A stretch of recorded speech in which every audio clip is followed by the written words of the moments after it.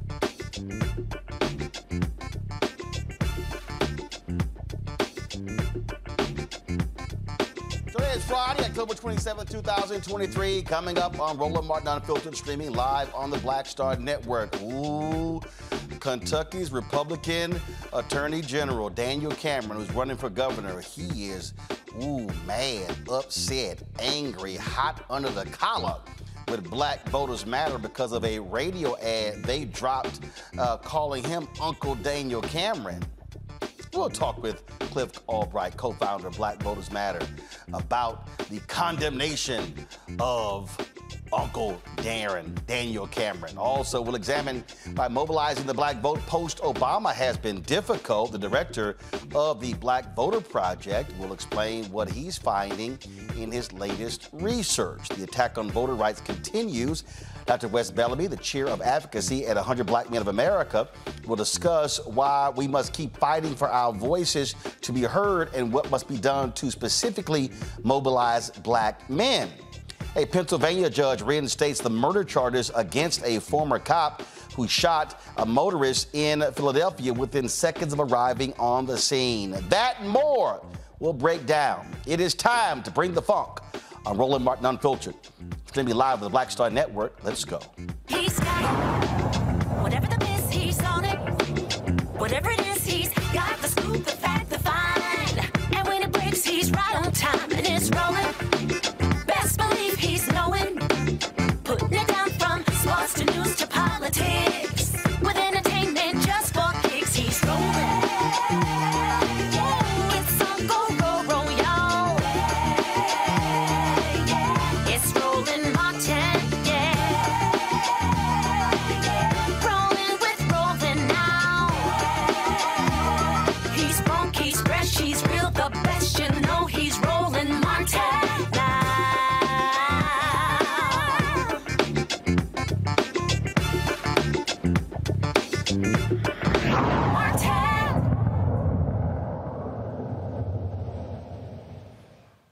Daniel Cameron, the Attorney General of Kentucky, who is the Republican gubernatorial candidate, is not happy at all with Black Voters Matter because of this radio ad. What's up, Kentucky? It's election time, and all skin folks ain't kin folk. Over the past few years, we've taken to the streets to demand racial justice, to demand health care, and the right to make decisions about our body. And now Uncle Daniel Cameron is threatening to take us backwards. The same man who refused to seek justice for Breonna Taylor now wants to run our whole state. We can't let that happen. We won't let that happen. On November 7th, vote Andy Beshear for governor. Paid for by Black Voters Matter Action PAC, which is responsible for the content of the Lord. Well, Daniel dropped this tweet here. Um, go ahead and pull it up. For years, I've been called every racist name in the book for supporting President Trump and conservative values. Andy Beshear always looks the other way and remains silent even today. he upset, y'all. Uh, joining me now uh, from Atlanta is Cliff Albright, the co-founder of Black Voters Matter. They dropped that ad. First of all, they're calling y'all Soros back. That's always the phrase they use uh, to try to tie anyone, anyone to George Soros, anything that he does. Uh, so, Cliff, why did y'all drop this ad and use that language against uh, or upset uh, Daniel? Yeah, thanks for having me on, Roland. I mean, we, we dropped it very simply, right? Because it's it's the truth. Um, you know, everything that we mentioned in the ad, he hasn't attacked the accuracy of, of the ad at all. Did you or did you not let go and refuse to charge the, the people, the police officers that killed Breonna Taylor? So you don't want to talk about the substance of the ad. He want to talk about the Uncle Daniel Cameron. And, and, and, and technically, we didn't call him Uncle Tom, right? That to do so actually would probably be more of an insult to the actual Uncle Tom, but that's a whole another story. But you know, the uncle could have been anything. It could have been Uncle Ruckus. It could have been uh, uh, Uncle, like you know, we call Maxine, Congresswoman Maxine, uh, Auntie. Maybe we was using it affectionately. The fact of the matter is, soon as he heard it, he heard Uncle Tom, right? You know what we say, Roland? Hit dog will holler. He's hollering mighty loud. Um, he saw himself in, in an Uncle Tom attack. But at the end of the day, what it's about is basically just reminding our folks that this is the same man who's been against our community, not even just in terms of the Breonna case, uh, the Breonna Taylor case, right? Say her name, but everything else. Look at what he stands for. Look at his attacks against healthcare and, and, and trying to peel back the Medicaid expansion that took place in the state. That is a direct attack against the health of black communities. Look at his attack, unsolicited attack against affirmative action, where after the Supreme Court had their affirmative action case, which dealt only with education, here comes Daniel signing a letter uh, with a bunch of other attorney generals, basically warning companies that they need to end their affirmative action hiring policies. Ain't nobody asking to send a letter. That wasn't even what the Supreme Court decided. He just went and took it upon himself to go out and, and pursue such a letter, which again directs our communities, attacks our jobs, attacks our, our wages, attacks our families. So it's not even just his stance on the Breonna Taylor case and police accountability. It's issue after issue after issue where he has shown himself to be just as much of a threat to the black community as, as, as the staunchest white supremacist. You don't have to be white to pursue and reinforce white supremacist policies. As we said in the ad, all skin folk ain't kinfolk. Uh, and you laid out all those particular issues. Uh, and, and, when we talk about Breonna Taylor, first of all, the federal trial begins on Monday uh, for one of the officers who was involved in that. Uh, it was Daniel Cameron who, oh, I found nothing. I found nothing. But it's amazing how the feds found stuff uh, and have already gotten guilty pleas, but he found nothing and did nothing. Right, and he hides around. You know, you'll in every interview, anytime he's asked about it, he'll say, "Well, all I can do is is uphold the law and, and follow the law, and you know, my hands were tied. You know, I just there was nothing I can do." And we know that that's not true. We know that that is gaslighting to the highest degree. We know that there are all types of violations that could have been filed, just as the Department of Justice um, is, is, is currently doing so against those who killed uh, Breonna, who murdered Breonna. He could have done that. Other uh, attorney generals uh, were able to do the same. Uh, uh, Keith Ellison in, in, Minnesota was was able to do the same. I mean, so there have been others at the state level, at the county level, and all levels have found it somehow within the law to um, to enforce when police officers kill a black person to say that there was nothing he could do is basically he's repeating Judge Taney's line from the Dred Scott case, where he's basically saying um, that a black man or woman uh, sitting in our own apartment, sleeping in our own apartment, has no rights which a white man or a white police officer is bound to respect. Again, when we have an attorney general and a candidate for governor that takes that kind of a position, that is a threat to our entire community. And we say it again all skin folk ain't kinfolk.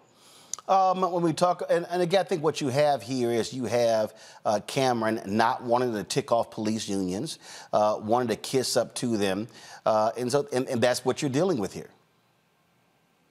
Exactly. I mean, he's he's he's cast his lot. Look, he decided a long time ago which which which team he was going to be on, and whether that's the side of the of the police unions or whether that's the side of Mitch McConnell. I mean, he takes some some amount of pride, and Mitch McConnell takes some amount of pride in in calling him like one of his proteges, right?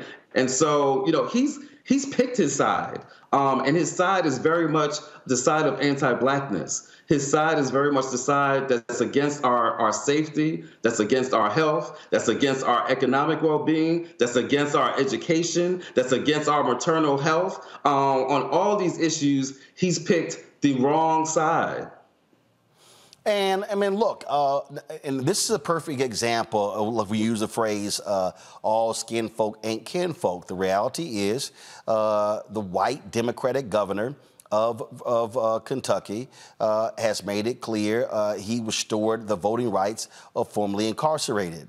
Uh, he has been clear where he stands on Medicaid expansion, which impacts African Americans. He's made it clear where he stands on voting rights. Here's a perfect example of a white Democrat who, frankly, is, a, is aligned more with black voters than black Daniel Cameron, Republican.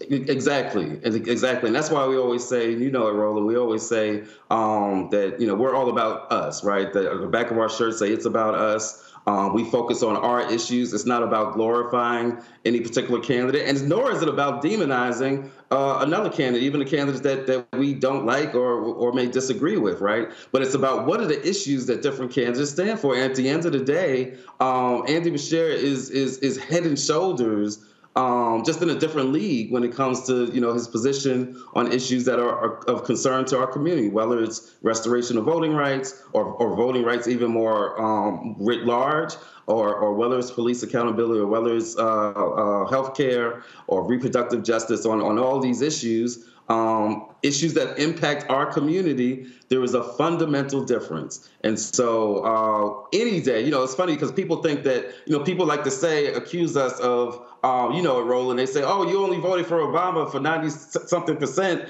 because he's black. And y'all are just all about, y'all are just all about race. And that's racist. And then when we come out an ad criticizing a black candidate, they say, oh, that's racist. Well, which one is it? Are we, are we always guided by race and we'll vote for anybody black no matter what?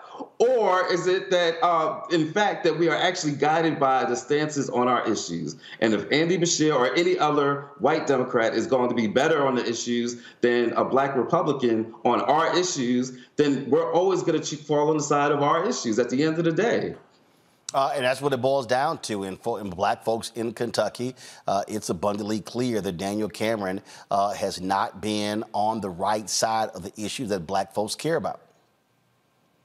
It's, it's abundantly clear, and that's why we're doing what we're doing. Because you know, you, you might have some folks that that that don't know that it's that clear, right? Maybe maybe they don't know about all these issues. Maybe they know about the Breonna Taylor, but maybe they get confused when he gaslights us and he says, "Well, I, I did everything that I could do," right? Or, or, or, maybe they don't know about his position on healthcare, or maybe they don't know about his his his anti-LGBT um, um, positions or any of the other positions. That he's got a thing on the Attorney General's website, Roland, not his campaign website the attorney general's website that says that one of his top priorities, you go to the website right now, pull it up, one of his top priorities is to stop wokeness.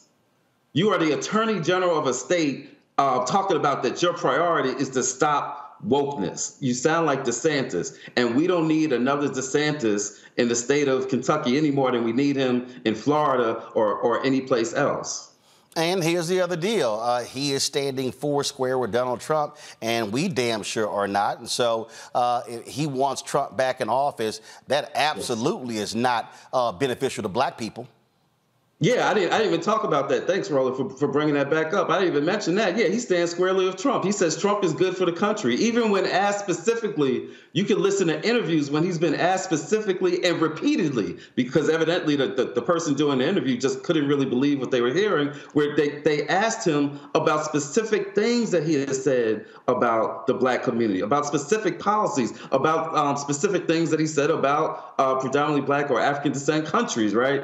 And and and every case, all Cameron would fall back on is, you know, I believe he's best for us. I believe his values are best for us. Like why he would use Donald Trump and values in the same sentence, I don't even understand that. And so at the end of the day, no, we don't need somebody who even now, even now, knowing all that we know about not just his his horrible policies as as a twice impeached president, but knowing all we know about the insurrection, about the coup that he he tried to do, um, even now knowing all this, he still stands squarely with him. He is a threat not just to our community, he's a threat to this entire country. We cannot have him. It's bad enough that he's in the attorney general position. We definitely can't have him in the governor's mansion, not in any state.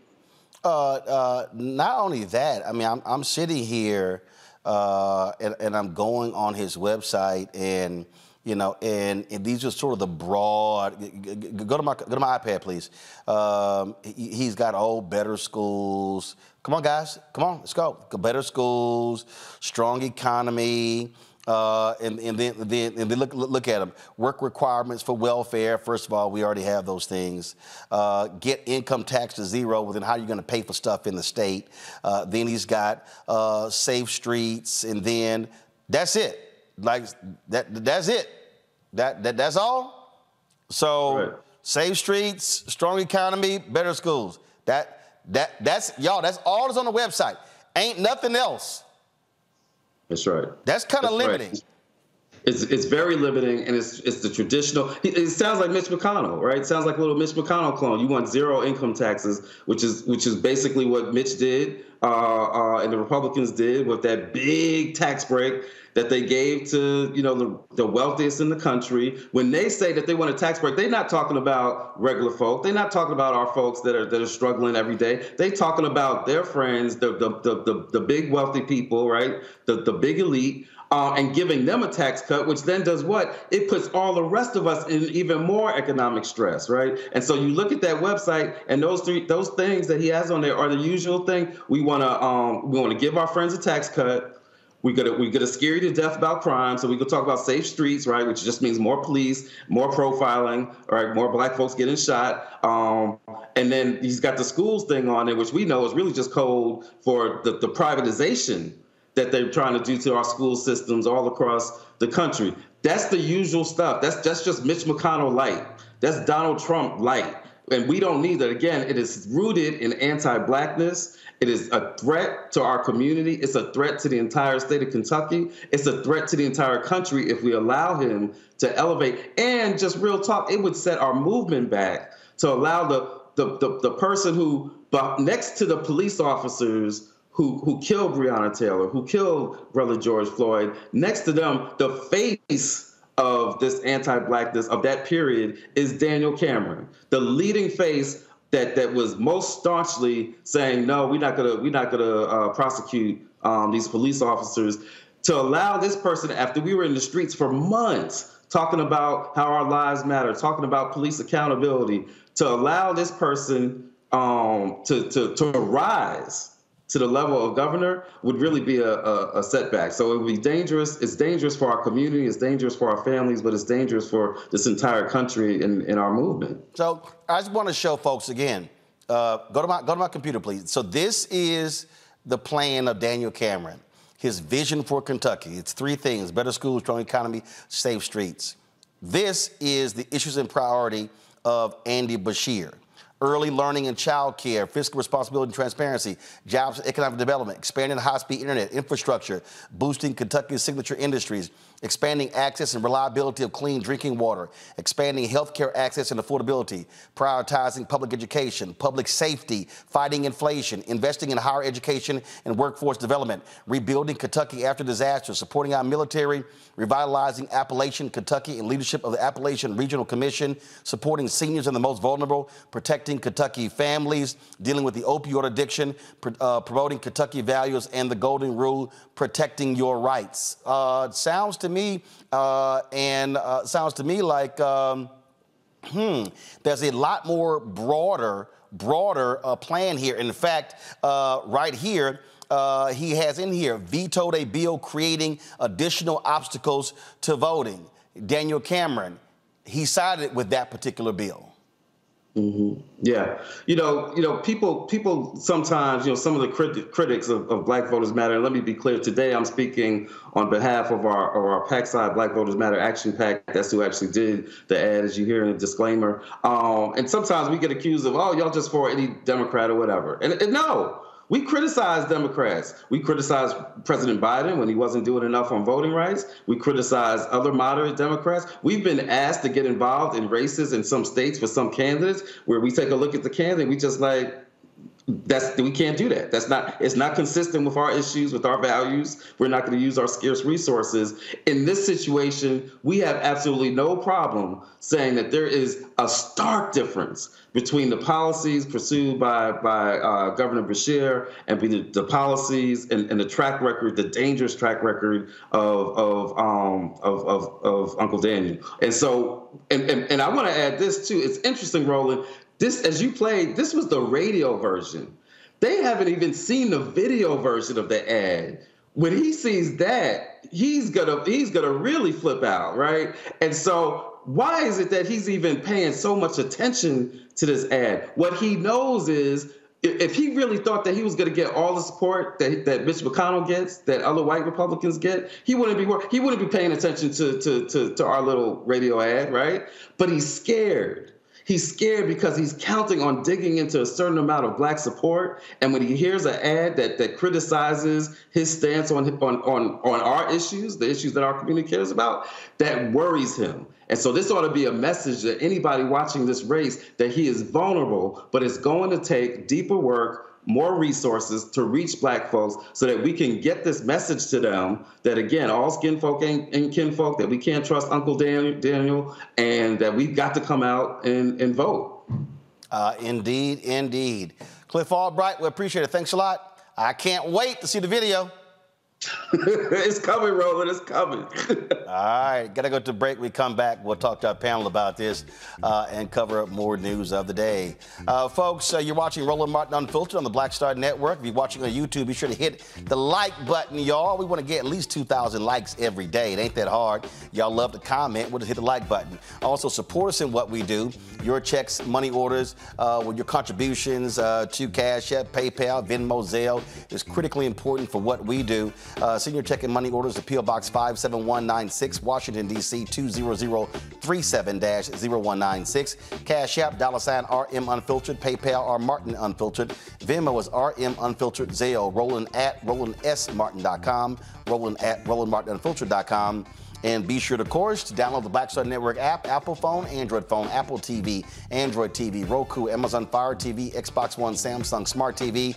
You can watch our 24-hour streaming channel, folks, uh, on various platforms, including Plex TV, Amazon, Amazon News, Amazon Freevee, and Amazon Prime Video. We'll be right back. I'm Dee Barnes, and next on The Frequency, we talk to award winning screenwriter and director Chanel Dupree about her film, You Think You're Grown The Adultification of Young Black Girls. This is a conversation that all women can relate to. This woman was like, oh my God, you know, I, I went through this when I was a kid. She wore something, it was a maxi dress, but the way it fit on her body, this uh, female teacher thought that she looked too grown and spun her around in front of a male teacher and said, What do you, do you think she looks grown, right? Oh my God. So that's next time on The Frequency on the Black Star Network. Don't you think it's time to get wealthy? I'm Deborah Owens, America's Wealth Coach, and my new show on the Black Star Network focuses on the things your financial advisor or bank isn't telling you. So watch Get Wealthy on the Black Star Network.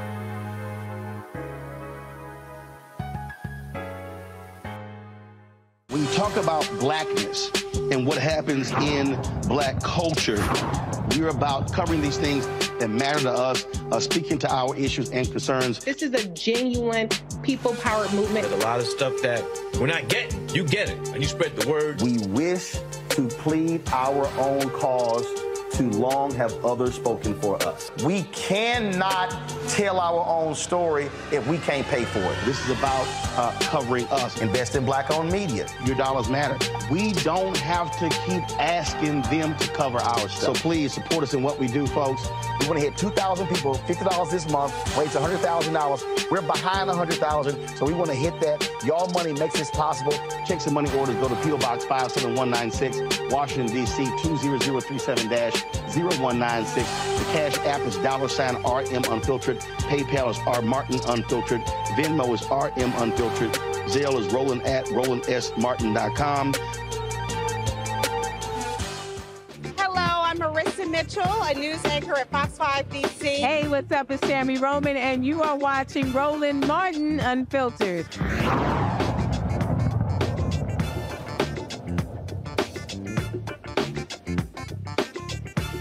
All right, folks. Michael Imhotep is the host of African History Network show out of Detroit.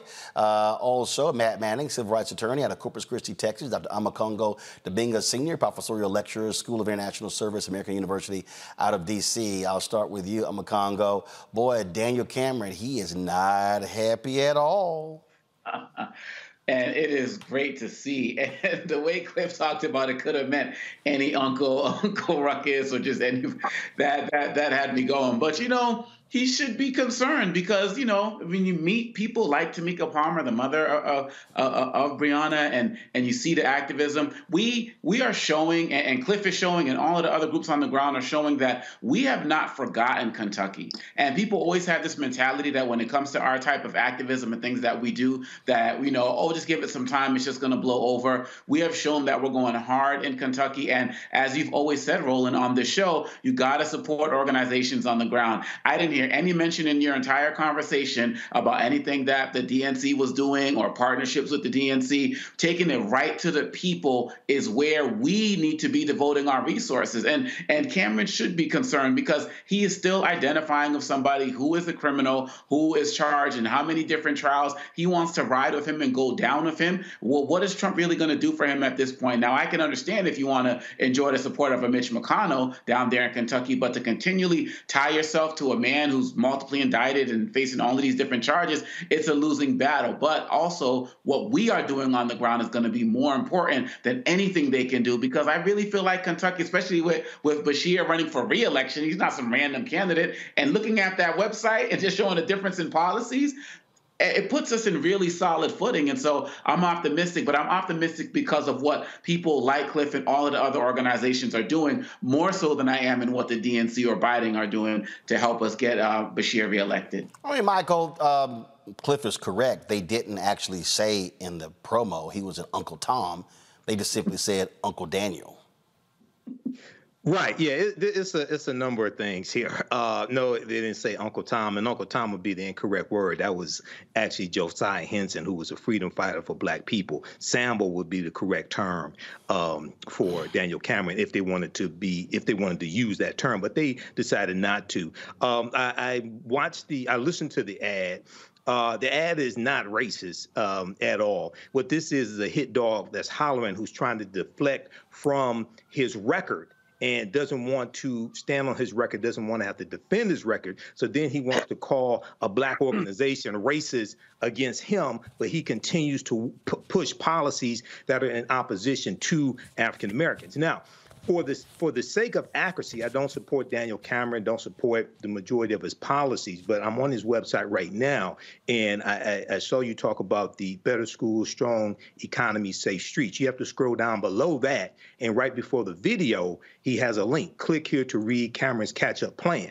So this is a five-page catch-up plan, and then if you scroll down below the video, he has two more links that go to PDFs that explain his policies. Okay, now I don't agree with his policies, but just for the sake of accuracy, scroll down below those three bullet points. Um, and then the other thing is, uh, and now I've, I've been on his website looking at his website. The other thing, and I don't know how deep you want to get into this, Roland, but he has his wife on the website as Royal, And it says Meet Makenze, And then it talks about uh, moms for Daniel Cameron, things like this as well. And you know, it's obvious uh, he's married to a white woman too. Okay, so once again, now she's on the website. They're talking about Meet Makenze. they're, talking about moms from Makenze, things like this. So when you have anti-black behavior and an anti-black mentality, and you support policies that against African Americans, that can spread to uh, numerous aspects of your life. And we unfortunately see this manifest here. First, Hopefully, he's defeated. First, again, I don't give a damn who he's married to. I don't. I don't. I don't give a damn who he's married to. That's irrelevant to me. What I'm looking at is, and yeah, you could talk about uh, uh, clicking even further, but the reality is, I did click, and he got he only got three he only got three issues on here. That's all he's got. Okay, you can go down below. I clicked I clicked through it, and the bottom line, and, yeah, mm-hmm. he, oh, he still got three. Okay, in mm-hmm. education, mm-hmm. he got sub points uh, under education, but that's it. At the end of the day, right. what he's doing, uh, Matt, is a typical Republican bumper sticker campaign. Uh, and, and and that's, that's what it boils down to. And so uh, I keep the focus on him, not his not not his wife. That's irrelevant to me. I'm looking at where he stands on issues that Black people care about and the reality is, on the issues, Andy Beshear is better on the issues that black folks care about than Daniel Cameron. Absolutely. And the, the problem here is the same kind of cognitive dissonance that we see all the time, where particularly black conservatives try to play it both ways, right? Meaning they try to say, I'm black. So when it comes to us and it's advantageous for me to be black and play this black role, I try to have whatever proximity to blackness I can. But the rest of the time, I want you to recognize me as the one that got away from the plantation. We hear that kind of rhetoric all the time where black conservatives are trying to make it exceedingly clear that they're not a part of whatever they believe are black issues or issues that are seen to be not, you know, consonant with the conservative uh, ideal. And that's exactly what Daniel Cameron has done. And I, I, like that this ad has been advanced the way that it has because a lot of times, like Cliff said, I think masterfully, black people get um, accused of being monolithic, right? Accused of not being discerning in choosing their political uh, representatives and looking at the actual issues rather than looking at the person's skin. And this is a good example of saying you are not actually with us. No matter how you might try to do the song and dance where you think it helps you to be aligned with us, you choose against us all the time. And that's inherent in his policies. So I think that comparison of the policies is important. And I think that, you know, it is not only a bumper sticker campaign, but even the idea of, quote, you know, trying to stop wokeness. One of the problems I see with Cameron and a lot of other politicians is that they're really involved in things that should have no bearing on what their job is. If you're the attorney general or potentially the governor, there are certain spheres of influence you should have that don't necessarily concern certain uh, social issues. But where you do have the influence, i.e., you're the attorney general, and you can't find the evidence in your investigation that other law enforcement agencies have, then we have to ask why. And that's because you're acting in conformity with the ideology that is getting you where you want to go. And the reality with black conservatives is they very often play that tokenism role, and where it's helpful to them, they play it up. So you can't be surprised that on the back end we call you out for you not being who you claim to be, and that's one of us because we see how you act, and that is demonstrative of who you truly are. Yep. It's what you do is not what you say. That's what it boils down to. It. All right, hold tight one second. Uh, we come back. We're talking. We're going to talk about uh, again uh, recent polls that show um, where Black voters are. Uh, we're seeing polling data shows that uh, African Americans less identifying as Democrats. Not actually new information. Uh, that's been the case really the last several election cycles. but really, what is going to need to happen? To turn black folks out in significant ways uh, in next year's election. We'll discuss that uh, coming up next. You're watching Roland Martin Unfiltered right here on the Black Star Network. Next on the Black Table with me, Craig Carr. Immigrants lured off Texas streets and shipped to places like Martha's Vineyard and Washington, D.C. Believe it or not, We've seen it all before. You people in the North, you're so sympathetic to black people, you take them. 60 years ago, they called it the reverse freedom rides. Back then, Southern governors shipped black people north with the false promise of jobs and a better life. It's a part of a well known playbook being brought back to life. So, what's next? That's next on the Black Table, a conversation with Dr. Gerald Horne about this issue of the reverse freedom rides, right here on the Black Star Network. hatred on the streets, a horrific scene, a white nationalist rally that descended into deadly violence. White people are losing their damn minds. As an angry pro-Trump mob storms the U.S. Capitol, we've seen We're about to see the rise of what I call white minority resistance. We have seen white folks in this country who simply cannot tolerate black folks voting. I think what we're seeing is the inevitable result of violent denial. This is part of American history. Every time that people of color have made progress, whether real or symbolic, there has been what Carol Anderson at Emory University calls white rage as a backlash. This is the rise of the Proud Boys and the Boogaloo Boys. America, there's going to be more of this. Here's all the Proud Boys, Dave. This country is getting increasingly racist in its behaviors and its attitudes because of the fear of white people. The fear that they're taking our jobs, they're taking our resources, they're taking our women. This is white fear.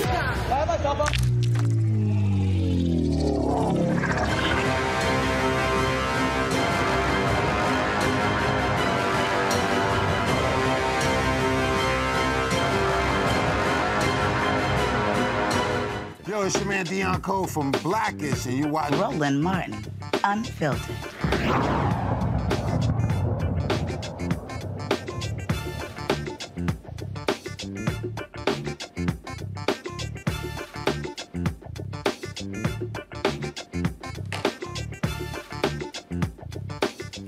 All right, folks. Uh, the recent Louisiana uh, primary shows black folks are simply not showing up at the polls like they did when Barack Obama ran for president in 2008. That's no shock. Uh, the reality is, uh, many people expected that. But if you look at 2010, 12, 14, 16, 18, 20, 20, 22, uh, you've seen uh, that number go down. My next guest has been researching why mobilizing black voter post Obama has been so difficult.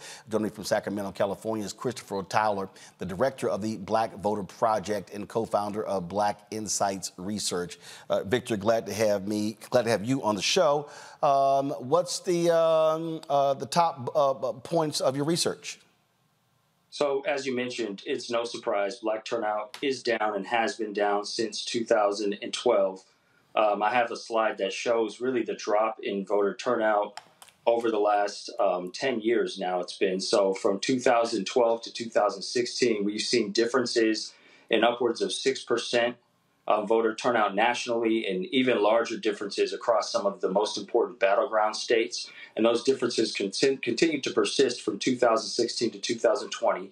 And this comes from data from the Center for American Progress, um, suggesting that there's a ways to go to get black folk out to the polls at the same rates as they were during the Obama, Obama administration, and the, the Democrats are falling behind there. Um, another slide that I brought shows that this coming election in 2024, there are some significant gains to be made um, across um, congressional districts now, looking at Democrats regaining the House here. Um, there are significant districts with large percent African American that are swing districts, right? And here you see in North Carolina, New York, Ohio, districts that are going to go suggested to go one way or another, Democrat or Republican, just by a few points here. And then we look at Louisiana, right, which we were just talking about, um, another swing district there that's over 30% black. So there's a, a, lot that can be done, but the Democrats really aren't doing what needs to be done or haven't in the last decade or so. Um, the research that I've conducted is looking at ways to get Democrats out to the polls, one of which being to really identify the threats to democracy, the threats to racial progress. Um, in this case, it's going to be Donald Trump, it's going to be the MAGA Republicans, it might even be some of these institutions that have now seemed to turn against racial progress in the black community, uh, specifically the Supreme Court, possibly even police, um, institutions of law enforcement. And my research suggests that identifying these institutions as a threat to the community is one of the most significant ways to get black folks to care about politics, to feel it's important to turn out to politics, and to get out there and vote.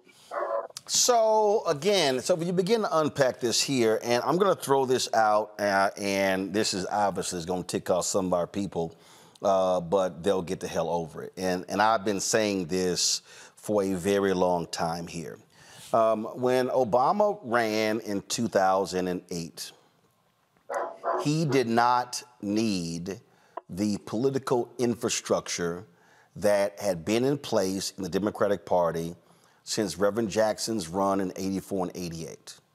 In 1988, Reverend Jackson, at his insistence, uh, with the installation of Ron Brown as DNC chair, with the work of the late Dr. Ron Walters, with the work of Harold Ickes and others, they actually created an infrastructure that was in place, a funding infrastructure, um, uh, you name it. When Obama runs, he doesn't need it. Um, you had uh, you had where uh, Plouffe, David Plouffe, David Axelrod determined that what they did need to spend money uh, on black infrastructure, black-owned media, things along those lines, because frankly, they already had the votes. Same thing happened in 2012. We saw, we saw the dismantling of also the DNC's political infrastructure with Obama for America, which then uh, which then was created. And so you sort of had the DNC that was gutted, and then you had this third this, this entity that he controlled. I was I kept saying then, hey y'all, he only gonna be there eight years. It's gonna folks, it's gonna be folks running after that. And ever since since he left in 2017, they have been trying to repair all of the damage that was caused by completely saying we don't need that infrastructure. Your thoughts? Yeah, I, I think you're onto something there. The the Democrats really did take advantage of and kind of take for granted the turnout that they got from black voters during the Obama administration. Um, there's a long line of literature that suggests the first of any when it comes to political representation, creates extreme levels of enthusiasm. Um, the hope and change sort of mantra played on that, and black folk turned out in droves at historic rates to elect Barack Obama. Um, research showing in 2012, right, black turnout for the first time in American history since we started recording turnout in the 1940s and 50s surpassed white turnout levels under um, as people came out to vote for Obama. And so I think it was sort of taken for granted that this first, this American president, changed the way that um, the political spectrum looked with black turnout at such high levels in states like North Carolina, Virginia, um, Ohio, Michigan, these swing states that have significant black populations but aren't overwhelmingly black went Democrat rather easily, along with the high turnout rates in general across the country. Um, we fast forward to 2016, 2020 this excitement, especially among the black community, had tapered off and fallen off. And the Democrats were no longer sort of riding this wave of historic black turnout, but as you mentioned, had not yet decided to reinvest and reinvigorate their um, democratic machine in ways that were needed, right? And we see statewide levels such as Abrams' campaign working to do this um, in places such as Georgia, but on a national scale and in as many battleground states as are needed to maintain the Obama coalition from 2008 and 2012 was nowhere to be found. And it's really not going to be found again because who knows when we're going to have another candidate that we can consider a first, maybe possibly a black woman candidate but, that will inspire the black community in similar ways. But but here's the deal, and I'll say this here, I, and I, I have been very clear on this, and again, I've been saying this for years, um, and that is, whoever, who, if anybody who's black running, they cannot use the exact same playbook that Obama used, and here's what I mean by that. Um, there was a nine-point gap between black men and black women in Obama's reelection with Romney in 2012 that was some dissatisfaction there. Whether we whether we want to own it or not, there were a lot of people who felt that more could have been done. And so part of the issue that Democrats have to, that that that that black candidates are going to have to deal with uh, and again, I believe that Senator Cory Booker and Senator Kamala Harris tried to use the Obama playbook when they ran for president in 2020. That sucker didn't work.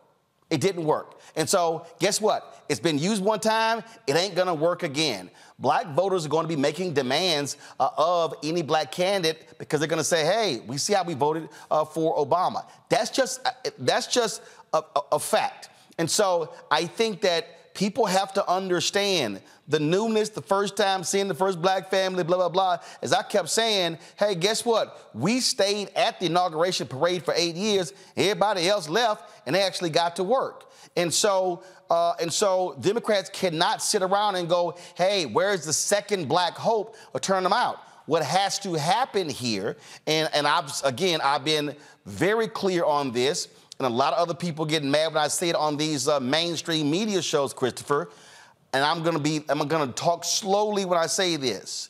The fundamental problem with the Democratic Party today is white media consultants refuse to listen to black people, listen to black consultants, listen to black posters, refuse to put the resources in those places early, and then they expect black people to come save their asses come mid to late October.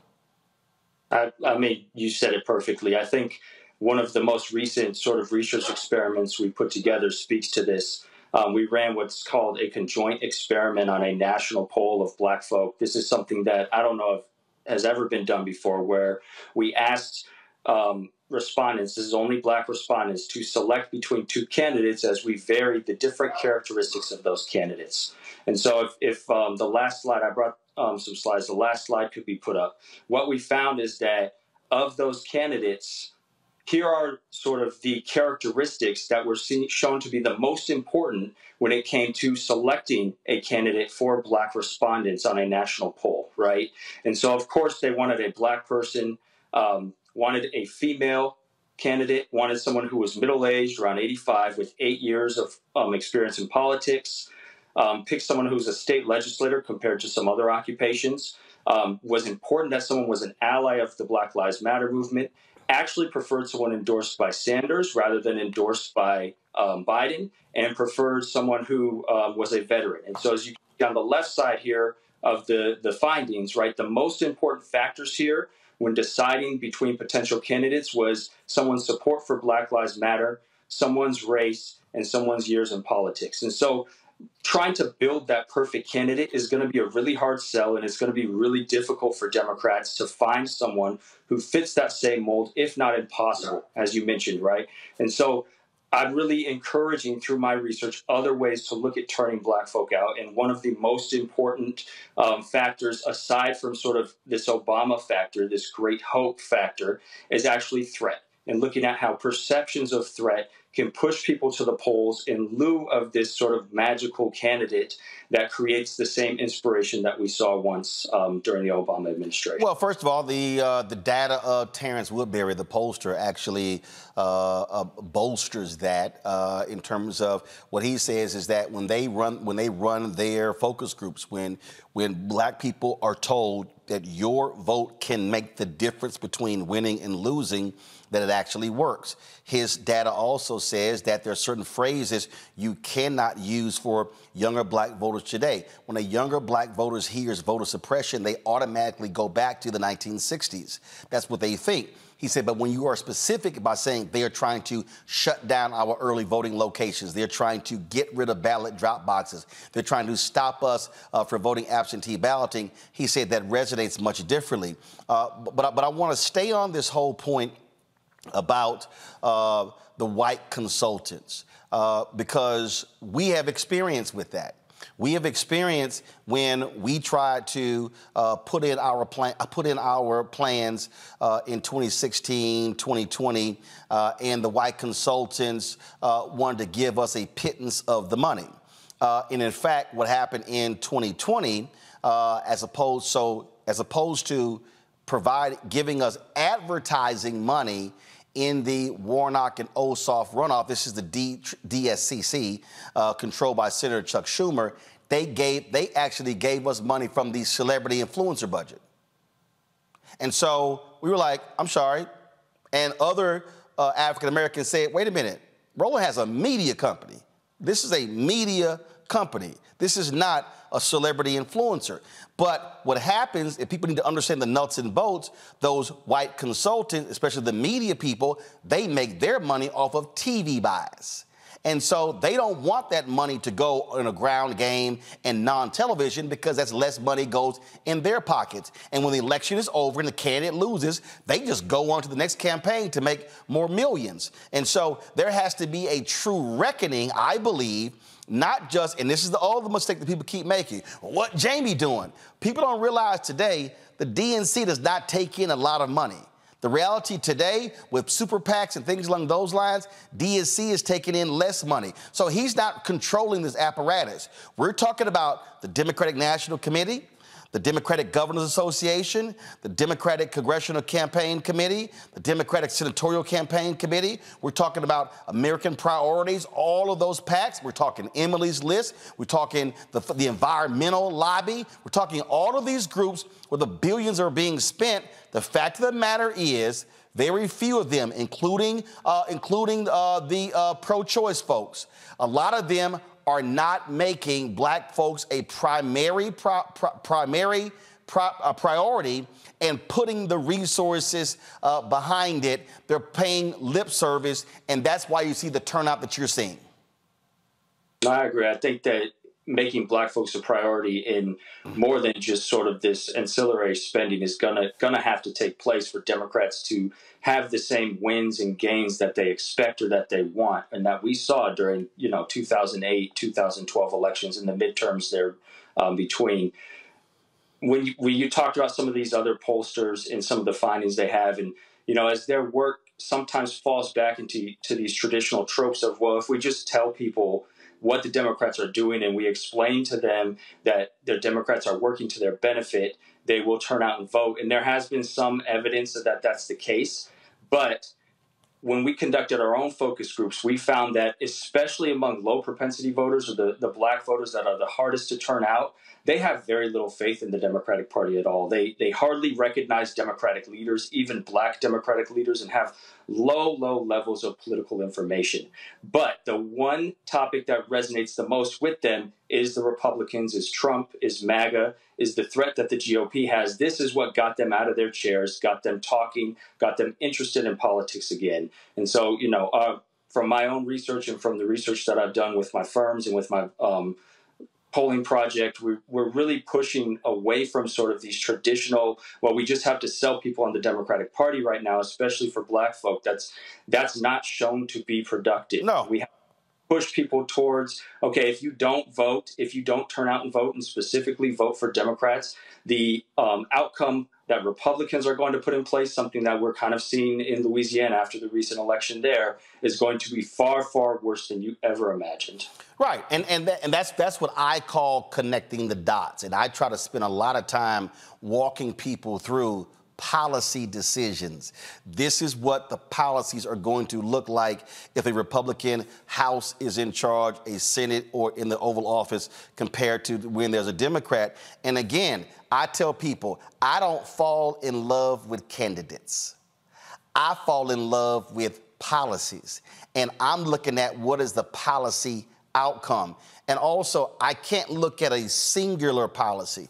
Look, there are some people out there, they only vote based upon the issue of abortion, whether you're anti abortion, whether you are pro choice. Not me. I got to look at a multitude of issues uh, because in terms, in terms, of how I examine. I, am going to go to a break. We're going to come back and pick up on this because there's something else uh, that I want to get at that people need to understand. We start talking about people who self identify because that's part of the conversation as well.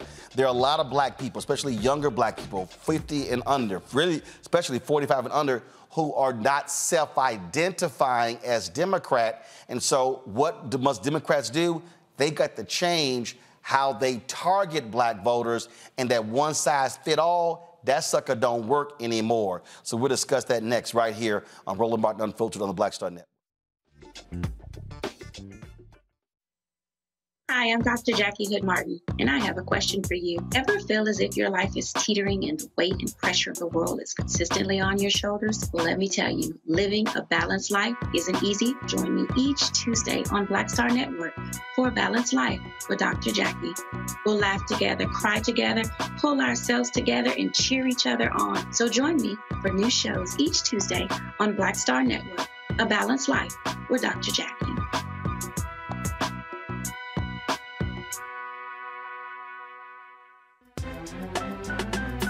I'm Faraji Muhammad, live from LA. And this is The Culture. The Culture is a two way conversation. You and me. We talk about the stories, politics, the good, the bad, and the downright ugly. So join our community every day at 3 p.m. Eastern and let your voice be heard. Hey, we're all in this together. So let's talk about it and see what kind of trouble we can get into. It's The Culture, weekdays at 3, only on the Black Star Network.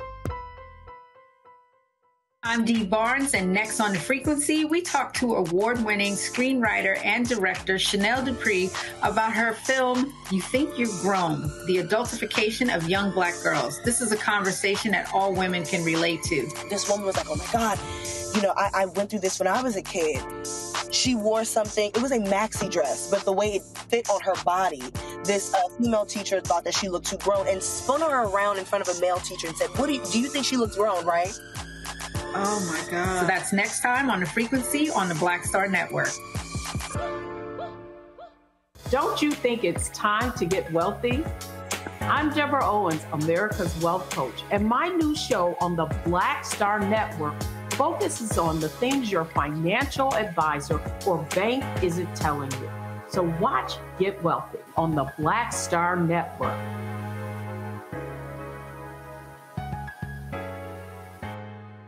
Hello, I'm Paula J. Parker. Truly proud on the Proud Family, louder and prouder on Disney Plus.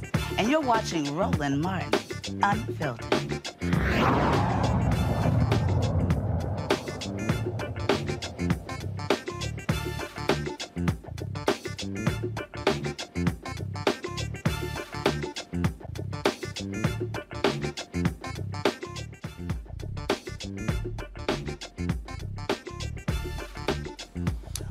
I, paid attention to the self-identification aspect of black voters for the last uh, 35 years. Um, I, I began to see and hear it when I was in college. So I was at Texas A&M from 1987 to 1991. And there, through the conversations I was having with classmates, I was hearing how they were not self identifying as Democrats, like our parents. And so that doesn't mean that they weren't voting Democrat or heavily leaning Democrat, they were not self identifying. Well, in the past 35 years, that number has only grown. I saw some data yesterday in North Carolina. An increasing number of African Americans are now calling themselves independent as opposed to checking off Democrat. Christopher, the reason that is important is because when you start now examining demographics, meaning age groups, and you now start examining where a black voter is in 2023 compared to a black voter in 1983, the strategy has to change. What I mean by that is there has to be more micro targeting. Uh, to, and when, when, um, when uh, Andrew Gillum, when he lost in Florida, governor, he lost by 30,000 votes.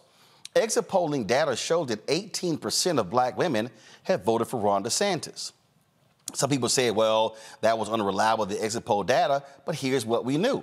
A lot of those black women were voting based upon the opportunity scholarships that were in Florida for their children to go to different schools, in charter schools, school choice. That was an issue. We see that there are African Americans who are very much about, we ranted a woman in Georgia in 2022 uh, when Warnock was in, in a runoff. And she said, listen, I'm a woman and the issue of Roe v. Wade is important. She said, but I ain't having no kids. She said, but I own a business. And so taxes is more important to me than being than Roe v. Wade. And so this was a black woman. And so I all I think so I think a part of this deal also is that these white Democratic strategists are going to have to wake up and realize that one size fit all don't work anymore. They're, you're going to have to have apps micro targeting to black voters in a way that historically they've never had to do. No, Roland, you're absolutely right. We've the conversations we've had about our research with Democratic campaigns and organizations boils down to the fact that in order to make this type of campaign strategy work, it's not going to be a one glove fits all. It's going to have to be targeted based on census tracts, based on neighborhoods, and you're going to have to put money into advertising that you traditionally wouldn't do or that these campaigns might not have been planning to do from the beginning. And in doing so, that's that's how you're going to get black voters to turn out at the numbers that we saw in 2008 and 2012. And that's really the only way to do it, because a lot of these campaigns are also worried that as they continue to push possibly some of these messages towards black voters, they're going to turn off other parts of the constituency. And and that's really where um, they get hung up in what what direction do we go, right? Do we continue to push forward with the same um, campaign strategies that we've been doing for the last decade, or do we try something new and actually try to target black voters and mobilize? But they always come back to this well we have limited resources. Well we're not sure exactly how that's going to affect the, the total um, base. We're not sure exactly how that's going to affect all the voters. And it's it's exactly like you're saying. If, if there's not a very strategic um, targeted campaign for black voters, not just based even on statewide scale, but on um, district and neighborhood scales. It's going to be very difficult to get black voters out at the rates that these campaigns need in order to win some of these close elections. Uh, and before I go to my panel, this is very basic for Democrats. Okay, the, all those consultants could say whatever the hell they want to say. That's all cute. Here's what we know, and these are facts. The number one ranked group who vote Democrat are black women. The number two group, black men. That's one and two. Now, in their minds, oh, well, we're going to get their votes. You might get the vote based upon percentage. The problem that we're talking about is turnout, the intensity of the vote. And what I have been saying on this show is that if black people turn out at 65, 70, and 75% of our capacity, we can sweep elections, but that ain't going to happen if you do not have folks who are targeting them and putting the dollars behind them. Question for my panels. Matt Manning, you're first.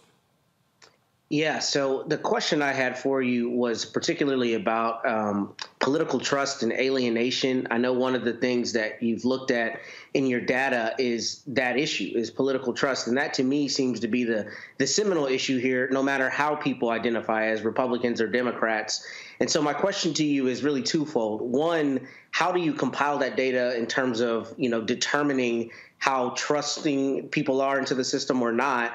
And secondly, what is your suggestion in terms of messaging, particularly for Democrats, uh, on how people can have a greater trust, black people have a greater trust in the system and therefore a greater buy-in, particularly when it comes to things like nonpartisan races, because a lot of times on the local level, your local city council person doesn't even declare a party, right? And they're the one who has the most immediate effect on your life in terms of filling the pothole at the end of the street. So, how do y'all address the political trust and alienation issue in your data?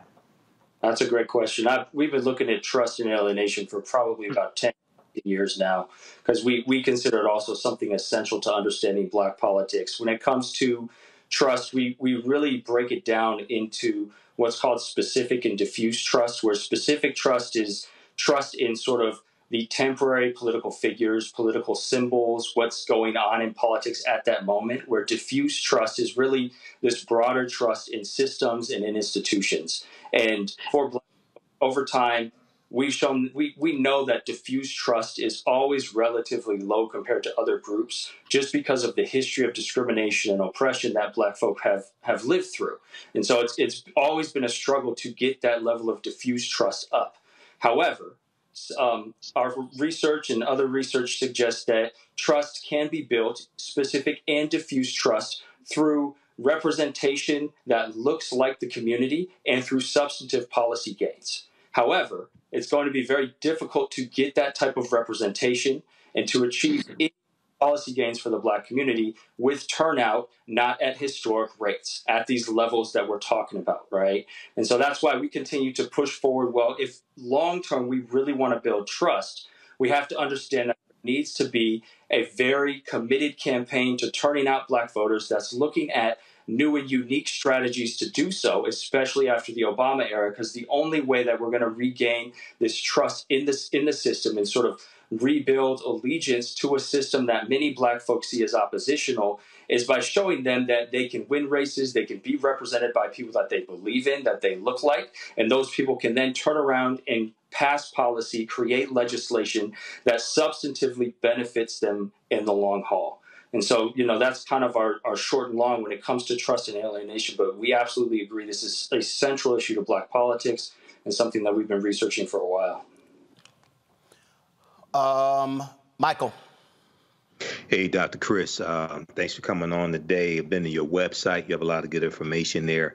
Um, we just spoke with Cliff Albright from Black uh, Voters Matter. Um, a couple weeks ago, we had Omari Hosang, Hosang on from Black Voters Matter in Louisiana.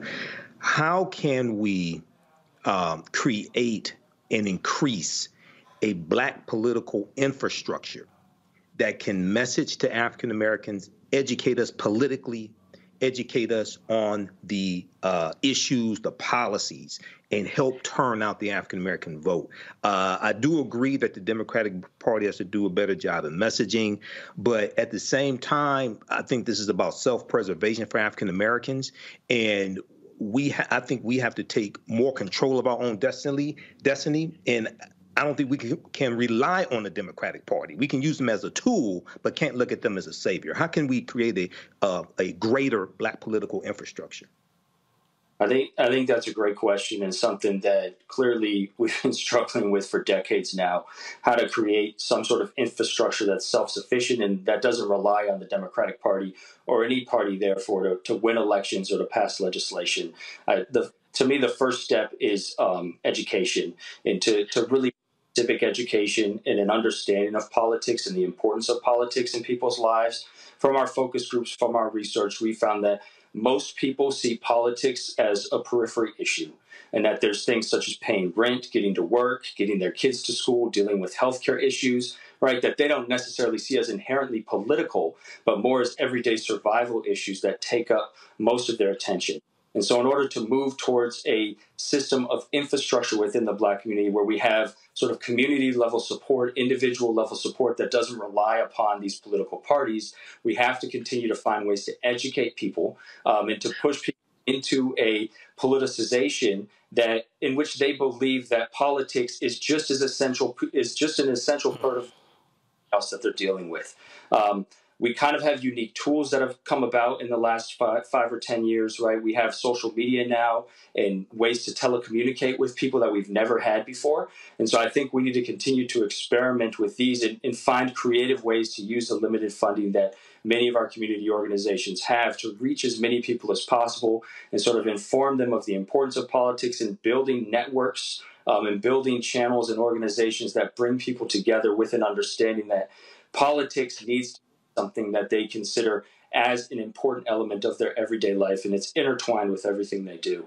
But again, this this is not like I'm I'm trying to be careful here and not talk about it as something simple, right? That we should have done already. This is it's a very very difficult hill to climb, and it's it's probably going to take um, a, a sort of nationwide organization to do it. And we've seen a, a little bit of that, right, in the wake of Trayvon Martin and some of the um, the police killings over the last decade. Um, the way that social media and the internet and some of these new technologies can be used to mobilize people, but there's still a gap between getting the information to people and actually building that infrastructure, right? Infrastructure similar to what we see maybe in a civil rights movement, right? Where it was necessary to go door to door and to talk to people.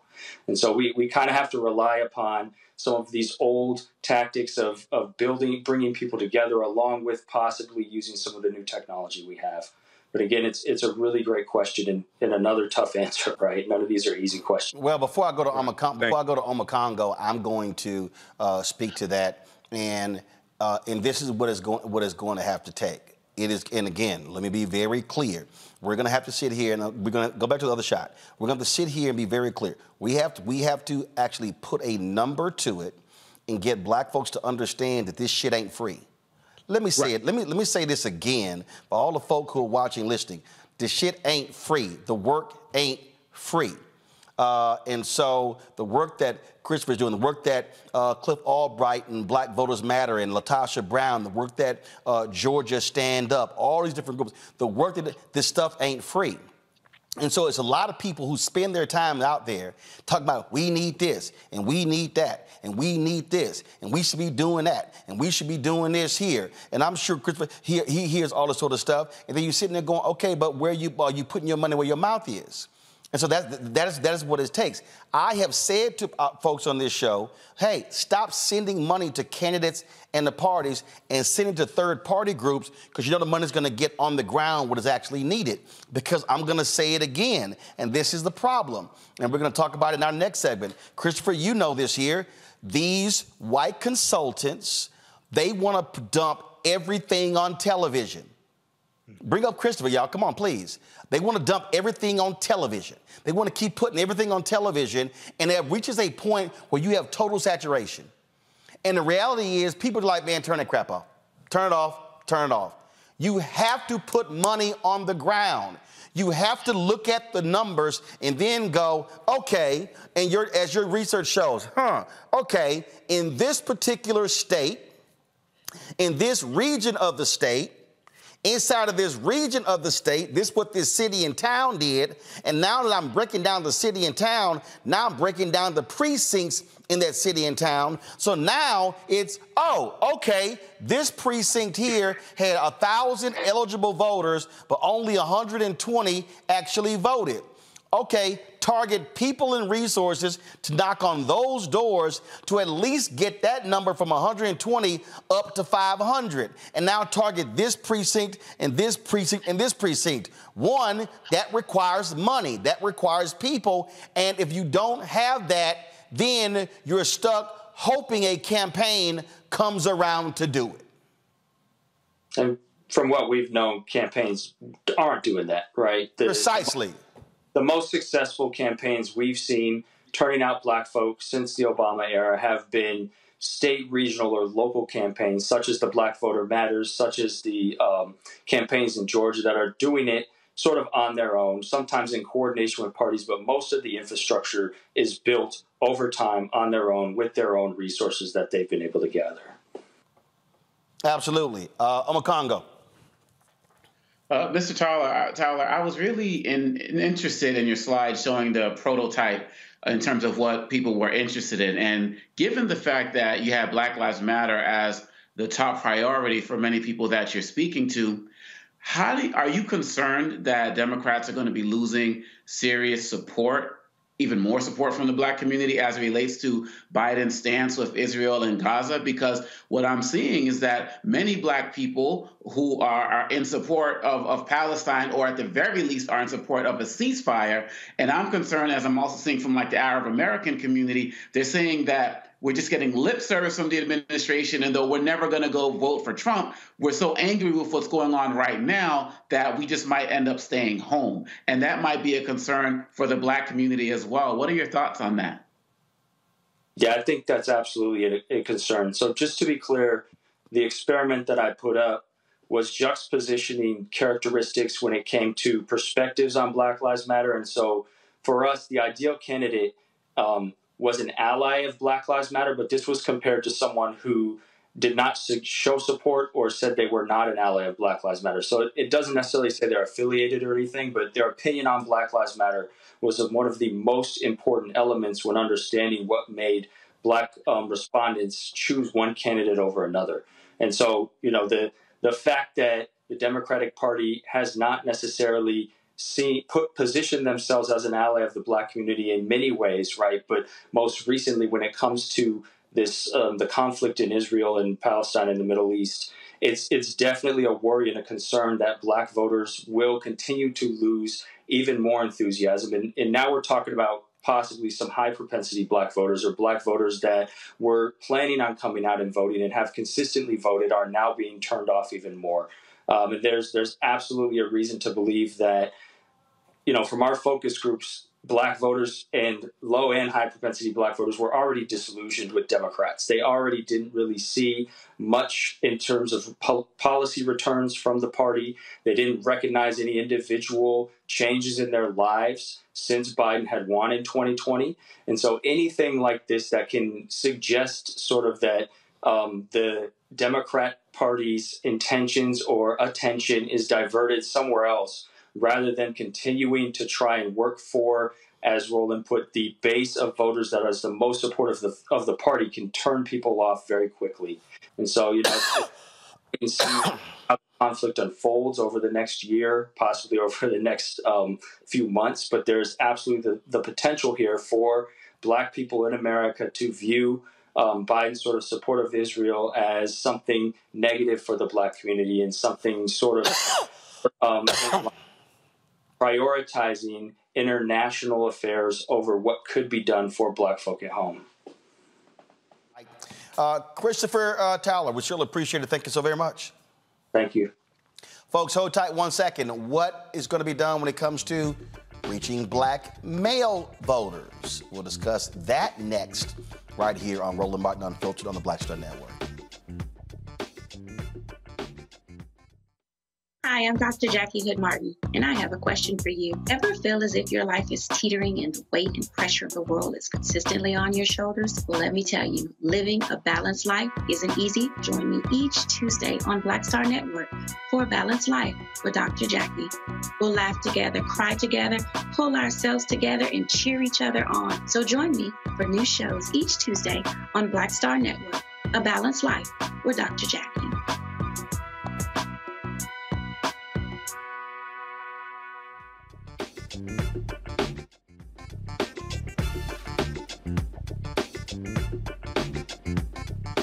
Folks. Let y'all to kill that music, guys. Kill the music. Thank you. All right. Curl Prep Natural Hair Solutions. It's an amazing uh, organic uh, product, folks. Uh, two-step curl defining system for women, men, and children. Now look at this video here, and you can be the judge. Folks are lining up to see the product in action at various hair shows, and when they take a seat to try it, they don't believe it's actually their hair. Now you can buy the product at curlprep.com. Again, it's curlprep, C-U-R-L-P-R-E-P.com. It works on all types of hair. Use the code ROLAND, lowercase letters, of course, to get a 20% discount. It's just simply two steps. They have sweet butter and sweet defining gel, both at curlprep.com. And of course, parents, you can remove the ouch. Y'all know what that's all about. Uh, you will love the system because you can comb through, comb the product through your child's hair with their with your fingers. Seasoned Saints, they also love the product, and the line has products that are great for twists, braids, locks, weaves, even those wigs and extensions. It's all at curlprep.com. Again, use the code ROLAND, lowercase letters, to get a 20% discount. You won't believe it's your hair.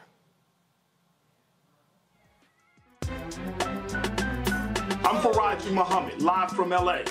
And this is The Culture. The Culture is a two way conversation. You and me. We talk about the stories, politics, the good, the bad, and the downright ugly. So join our community every day at 3 p.m. Eastern and let your voice be heard. Hey, we're all in this together. So let's talk about it and see what kind of trouble we can get into. It's The Culture, weekdays at 3, only on the Black Star Network.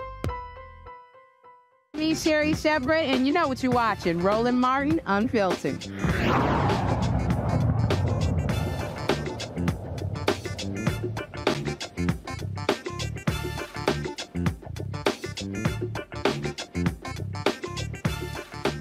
I was talking to Terrance Woodbury. His research last year showed that black male voter turnout in North Carolina played a role in the Republican keeping his United States Senate seat.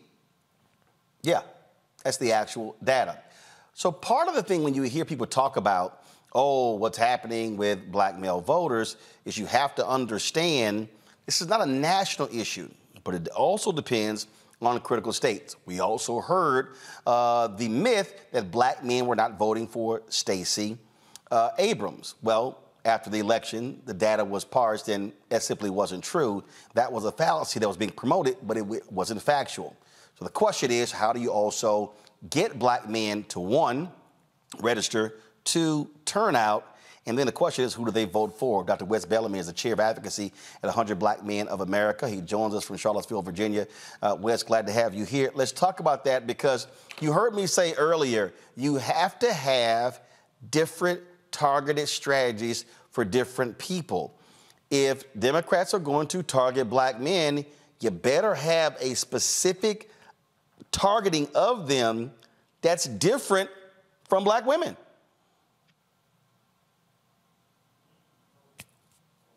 Wes, all right. Uh, okay, okay, Wes, I think your video froze there. We got your back. Go ahead.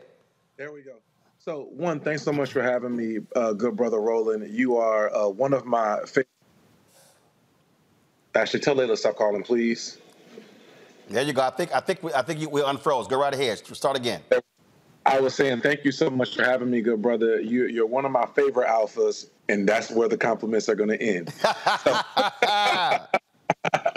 but in all seriousness, uh, I appreciate you having us on today. So you're absolutely right. Specifically, when you look at the 100 Black Men of America, some of the initiatives in which we're pushing, we're unveiling our Real Men Vote 2.0 campaign, in which across our 107 chapters across the country, we are looking to register every single brother that is in the 100 Black Men of America to vote. That's over 10,000 members who we are incentivizing them to be registered to vote, but then also we're kicking off a 30 city tour, if you will, uh, town halls, talking about the importance of brothers getting out the vote and then being educated on the issues within their localities in terms of who they should be voting for and what they should be looking for when it comes to uh, casting their ballot. One of the things that I think that we often see is one, just be candid. Uh, politicians and elected officials, as a former elected official, people take the black male vote for granted. They'll only come around when election season is happening. We only see them have conversations about our issues with barbershop talks or come and talk with us brothers. And, and those those initiatives, those ways of going and reaching brothers, they may fit for a certain segment, but they don't fit for everyone. So I agree with you. There has to be a multi-tiered and multifaceted approach, and that's what we're looking to unveil with the 100 Black Men. I also see organizations uh, like the Black Voters Project and others, uh, looking at different strategies, also uh, addressing and attacking uh, the black male vote. And I'm looking forward to not only collaborating with other entities, but us creating real, not only digital strategies, but strategies to fit a, a multitude of different brothers to engage us in the electoral process. Somebody asked me, they were asking me about this, uh, and um, it was a very interesting conversation because uh, I had to lay some things out that they didn't want to necessarily deal with. Mm-hmm. And this is what I said. Uh, and I said, let me be perfectly clear. Uh, I am astute enough to understand uh, the paternalism of the civil rights movement, uh, mm-hmm. of the paternalism of this country, of misogyny in this country as well. There were a lot of people who made the assumption that men uh, were not supporting Hillary Clinton in 2016 because she was a woman. Uh, and then I had to take the people, folks back to the data to show black men the nine point gap between black men and black women with Obama and Romney in 2012. I said that was two men who, who were running. And so they then were like, well, I don't quite understand. I said, well, I'll give you an example. When Doug Jones won the special election in Alabama, every story, the entire storyline, black women elect Doug Jones. And it was at 96%. But 92% of black men supported Doug Jones. Uh-huh. And what I have heard from a lot of black men is that all they've heard is black girl magic, black girl magic, black girl magic, black girl magic, as if black men are also not voting. Now, are black women voting at a higher rate? Yes. But that, that, that, that refrain is a turnoff to some black men who feel as if they are deemed irrelevant. Your thoughts? No, I, I, would agree with you wholeheartedly, but I also would encourage our brothers to understand that we can't have our feelings hurt so easily when it comes to who's quote unquote getting the credit for saving the democracy. We have to do what we have to do, regardless of who's being lauded for your voting here or the higher percentage turnout. But I also would, would encourage Democratic pundits, uh, Democratic analysts, and so forth to put more resources into ensuring that black males, one, are not only registered to vote, but also that they feel appreciated in their vote. So, I mean, two things can be true. Brothers can't be so sensitive when it comes to uh, who's getting the credit for electing whom, but also there needs to be efforts and mechanisms made to ensure that we feel appreciated and valued when we do but, go out and vote. But but I but, he, but I, I, I agree, and I absolutely agree with that. But perception does become reality. And and we have to contend uh, with with this reality as well, and that is when we're talking about um, uh, what they're hearing. And let's talk about the Biden administration. Mm-hmm. Oftentimes, Biden talks about, I said I was going to put a black woman on the Supreme Court, and I did. Absolutely right. Should have happened. Judge Ketanji Brown Jackson. Obama should have appointed a sister when he chose Merrick Garland. I was very clear on that.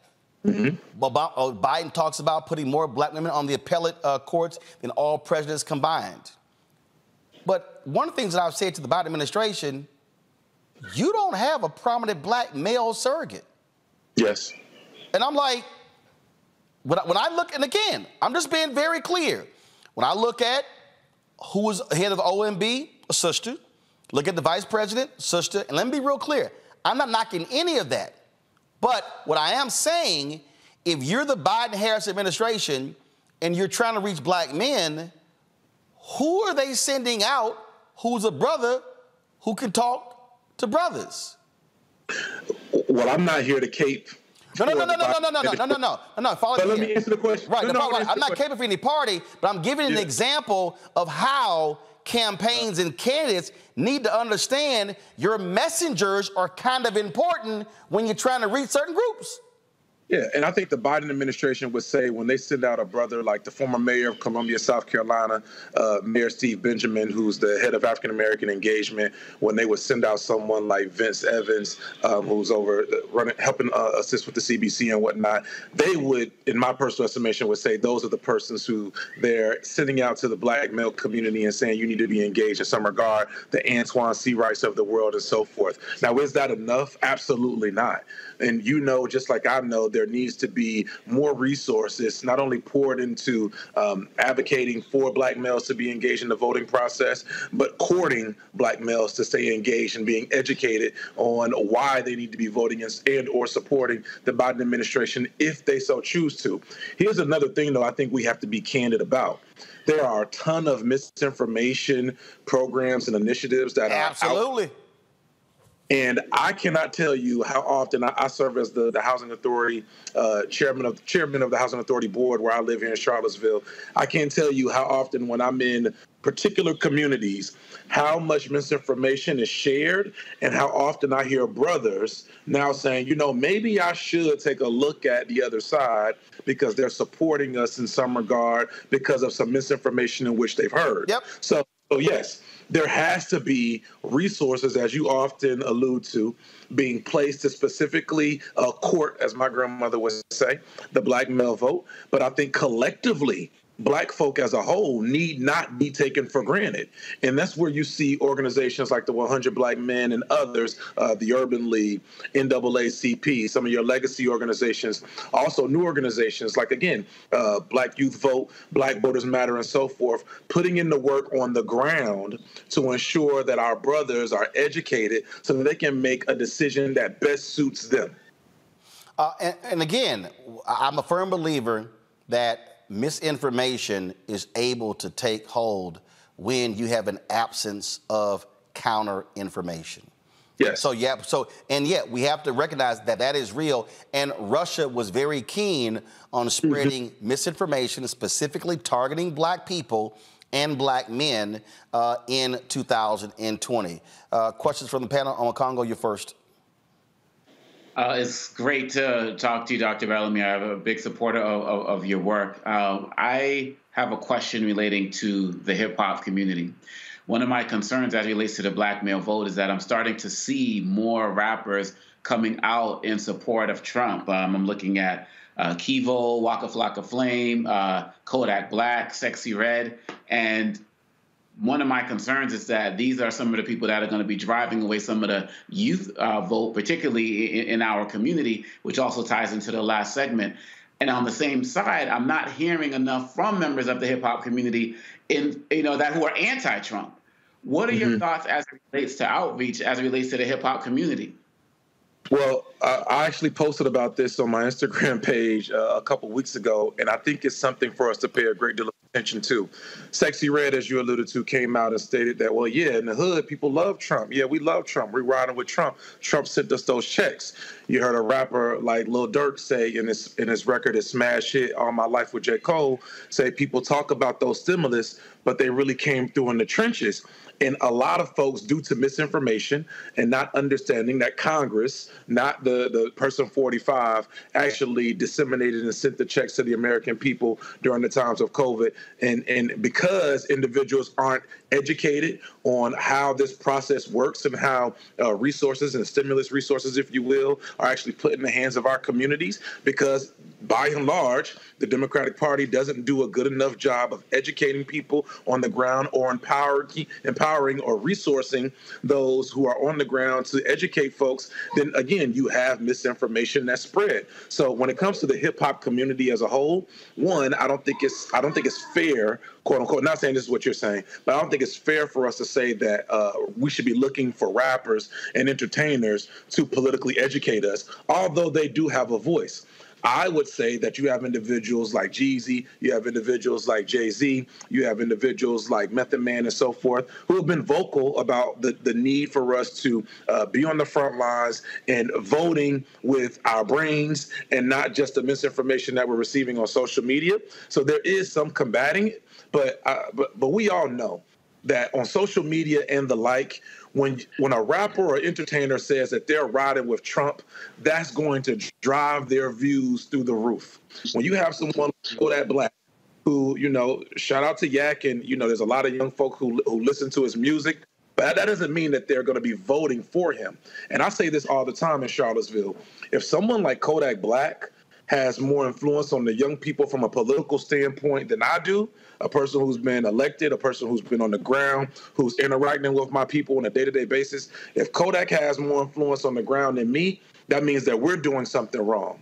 Our young folks shouldn't be looking to entertainers for their political influence. We need to be more engaged on the ground to ensure that our people are educated to make the best decision. Uh, well, and let me also, but part of the issue is also Democrats got to learn how to take credit for shit. Uh, so what Democrats should be saying is, hold up, uh, we control the House, you ain't right. getting none of them checks without us. Trump right. may have put his name on there, but we were the ones who you got them checks because of us. Just like I keep trying to tell all these people, oh, Trump let black men out of jail. Ain't no First Step Act unless it gets passed by the Democratic controlled House, and that effort was being led by Congressman Hakeem Jeffries.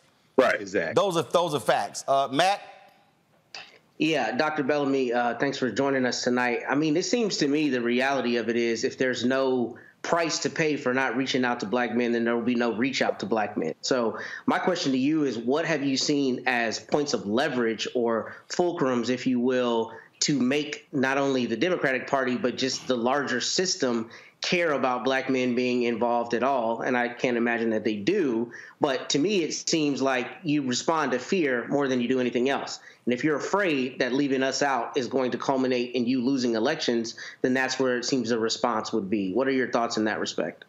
Well, I, I, think that you're absolutely right. I mean, I think many parties and, and, larger institutions who believe in which their leading voter engagement initiatives try to lead with fear. But I think it's more important, just my personal opinion, it's more important for us to lead with education. It's more important for a certain uh, population of people to, to lead with empathy and showing them how the decisions that you make today have an impact on tomorrow. There's important for, for certain initiatives and for different populations to be led. Um, with whatever it takes to, to tap into what it is and the things in which they care about.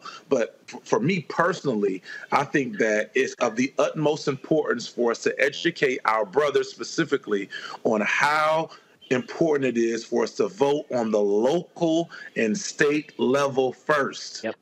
When we can show them when you go and vote for me in this local election, I can then help you specifically go and do this. When we make that connection, then we see a higher level of engagement. But the thing is, that requires work, not talking. That's not a panelist discussion. That's not something that you just do on social media. That requires you to go into our communities and talk to our people. And that's where I'm hoping that there will be more resources poured into us getting onto the ground to educate our brothers with other brothers who know better about why you have to be tapped in locally, because that's where everything starts. Yep. Exactly. Michael? Hey, Dr. Wes Bellamy. This is a great conversation. Um, I was talking to a friend of mine, uh, Keith Williams, who's chairman of the Michigan Black Democratic Caucus. And he was mm-hmm. talking about how he was talking to, to African American men in the neighborhoods here in the city of Detroit. And some of them said they were going to support Donald Trump because they want to own their own businesses. And mm-hmm. they see uh, they are under this illusion that if Trump is president, somehow he's going to help them uh, own their own business. Can you talk? Can you dispel that myth and talk about efforts that the Biden Harris administration have made to help African American entrepreneurs and African American male entrepreneurs? Well, well, sure. One, again, I'm not a surrogate, nor am I a representative oh, yes. for the Biden Harris administration. Let yes. me be clear.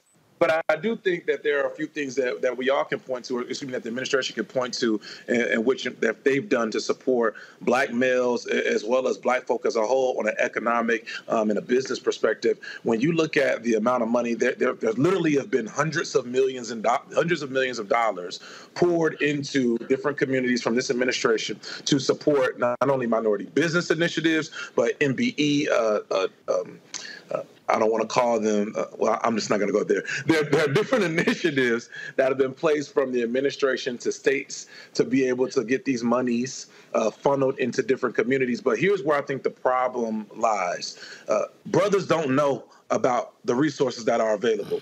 And why don't they know about the resources that are available? Because, as Roland alluded to, Democrats as a whole don't do a good enough job of talking about one, here are the things that are here for you. And secondly, they do a very horrible job of this is what I have already done. So if people don't know what's out there and they don't know what thus far, then of course they're going to believe any uh, uh, slim back with a red face and blonde hair that's been bleached to, to oblivion when he says that, yeah, I've done this for you and you don't have anything to lose because I'm rich like like unfortunately misinformation and hot takes they land with a lot of communities who don't have information so again the biden harris administration as brother roland alluded to they have to do a better job of communicating not only what's out there but the resources that are available to you and that is only done on the ground by dealing and working with people on a day to day basis. You're in Detroit. I look at folks like New Era and, and the brother Big Zeke, who's been going around community to community and ensuring that these communities are safe walking around with, with brothers who are armed and his, his colleagues, if you will, to say that we're going to stop the violence within our communities. If the Harris, excuse me, if the Biden Harris administration wants to be able to get on the ground, then they have to not only work with brothers like Brother Williams, and shout out to Brother Keith and Brian Banks of the world, so we all have a great time at CBC, but they got to be willing to work with the big Zeeks of the world who are in the communities, in the trenches on the day to day and who are ensuring that our people are not only safe, but these are trusted voices within our community. And again, I can't emphasize enough, specifically for black men, we're willing to trust other black men when we know that you're not going to do us wrong, but we can see your track record of leading us not astray, but into a place of prosperity, if you will. And those people, those persons don't always receive the resources, and that's where things have to change. Well, uh, what, what I keep laying out is very simple, folks. Um, look at what is going to happen over the next year, not just the presidential election, U.S. Senate congressional races, but gubernatorial races, state house races.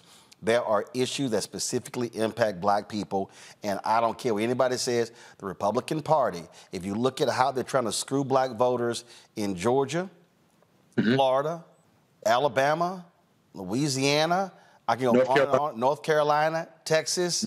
Um, they ain't they ain't looking out for black folks. Let's just At be all. real clear.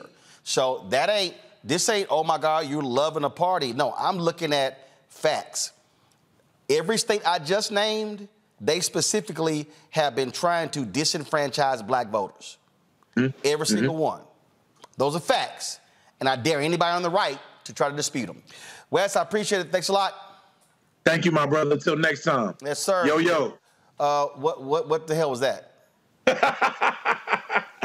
you know, I just had to let you know I showed you some love initially, and like I said, yo, yo, thanks for having me, good brother. Oh, what, what is that? Yo, I don't know what that, that little uh, yo, yo. That, here, here, we go. Little, but, here we but, go. But, but, but, but, I get, I just said you did an okay job. That's what that means. This that sign means okay. All right.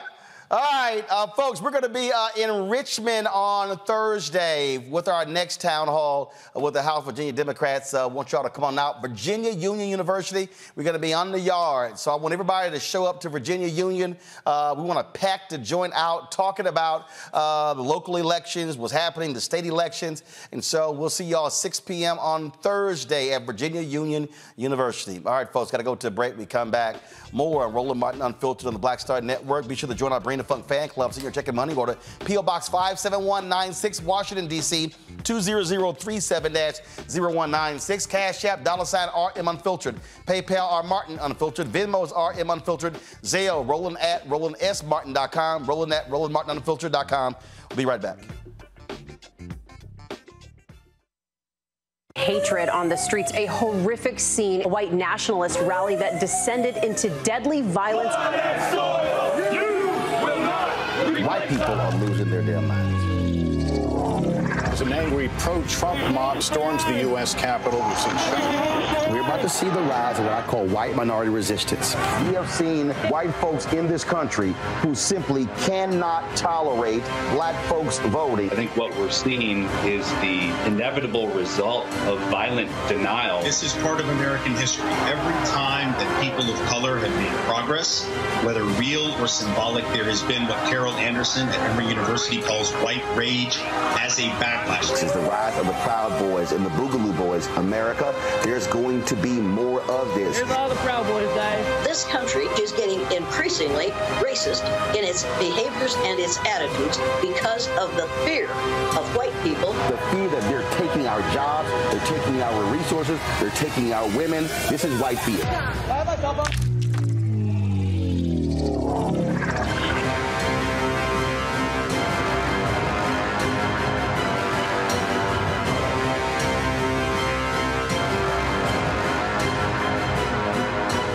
On the Black Table with me, Greg Carr.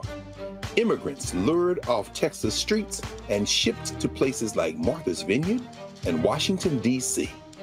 Believe it or not, we've seen it all before. You people in the North, you're so sympathetic to black people, you take them. 60 years ago, they called it the reverse freedom rides. Back then, Southern governors shipped black people north with the false promise of jobs and a better life. It's a part of a well known playbook being brought back to life. So, what's next? That's next on the Black Table, a conversation with Dr. Gerald Horne about this issue of the Reverse Freedom Rides, right here on the Black Star Network.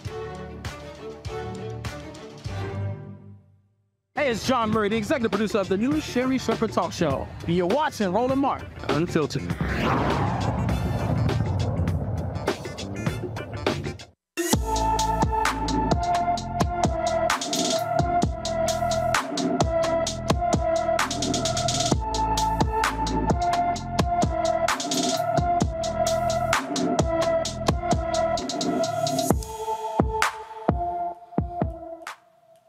Anaya Burleson has been missing from Dal- her Dallas home since June 25th. The 16 year old is 5 feet 5 inches tall, weighs 185 pounds, with black hair and brown eyes. Anyone with information about Anaya Burleson uh, should call the Dallas Police Department at 214 744 4444. 214 744 4444.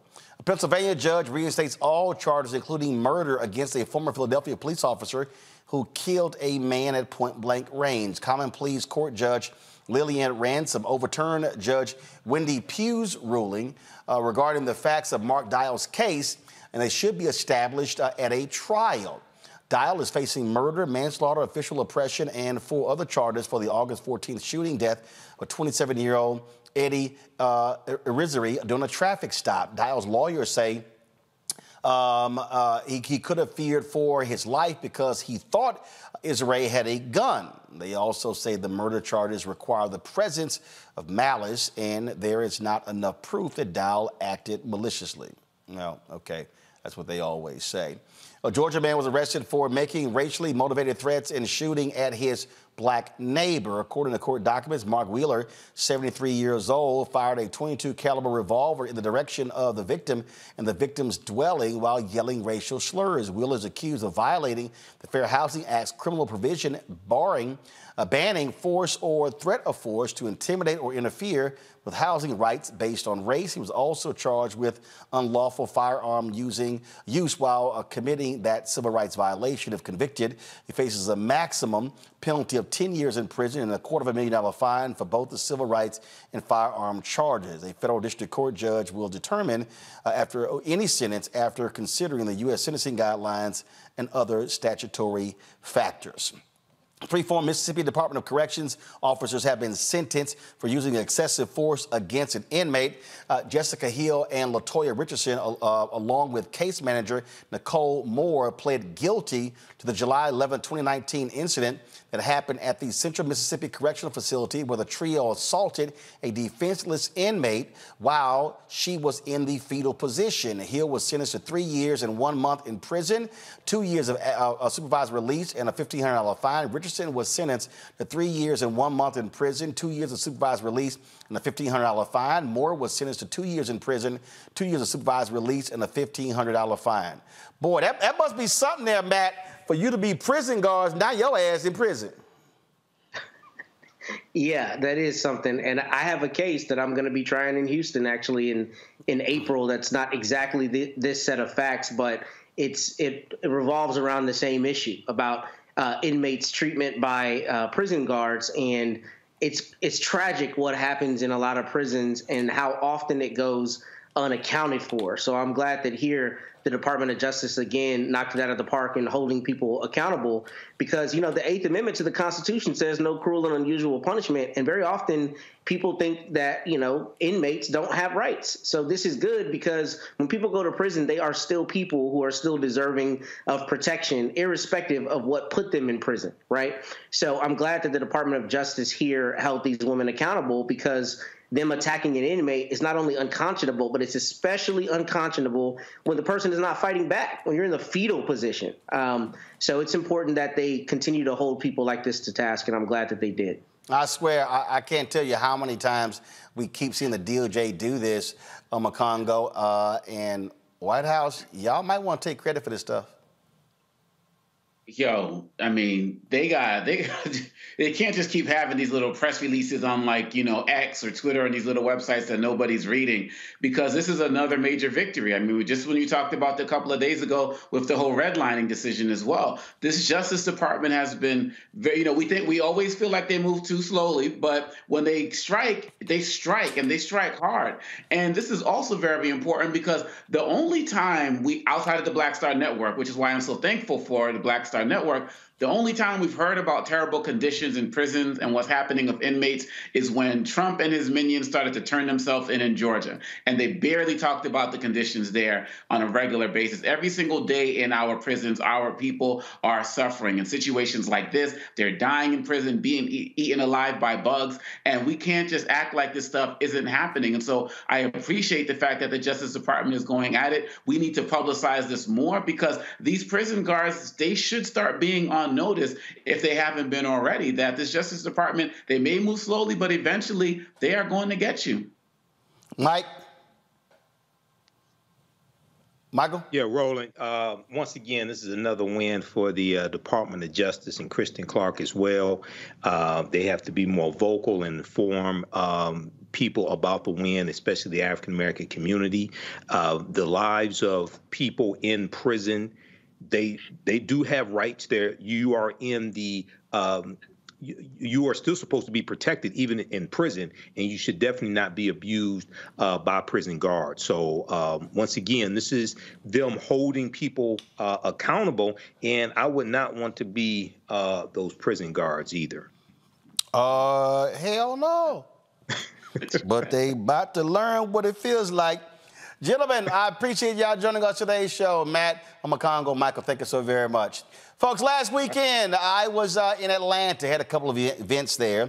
And last Saturday, I decided to stop by the homecoming at Clark Atlanta University.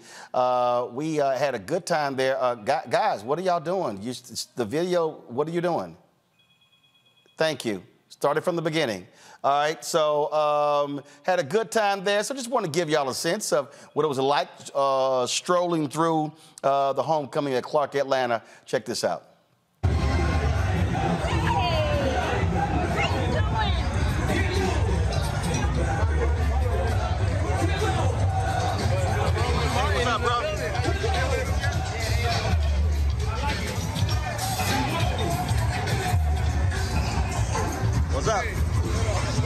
Y'all good? What's happening? What's up, bro? You good? How you doing? All good?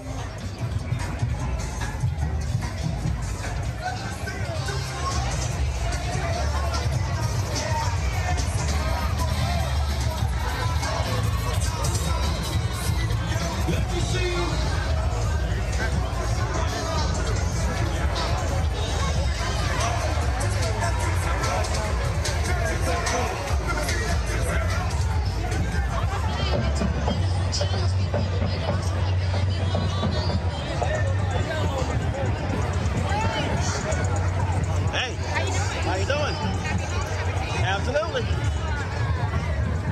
What's up, bro?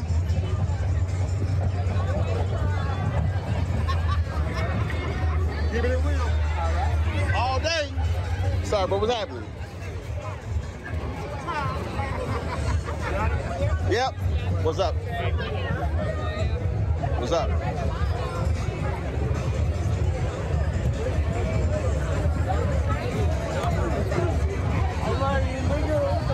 What's up, Brad? Y'all good? What's up, Frank? Y'all good? Hey. I've known you for years, bro. Come on, baby. I appreciate it. What's up, bro? Hey. There you go. All right. All right. Y'all.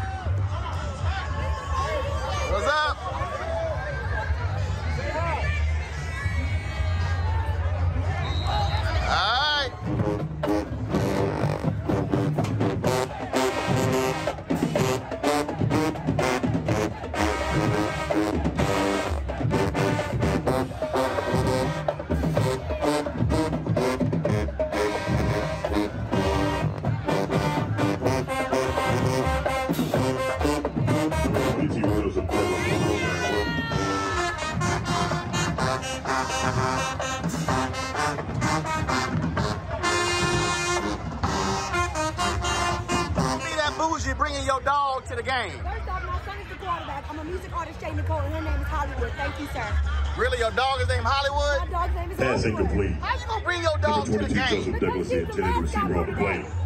She's Center the ball mascot. That's a dog. Gives the ball to Central State. First down That's a dog. Well, this is my dog. You bougie black people, y'all just look at dogs belong outside. Wouldn't have it no other way, baby. She go to every game, ain't never miss a game. Oh Lord.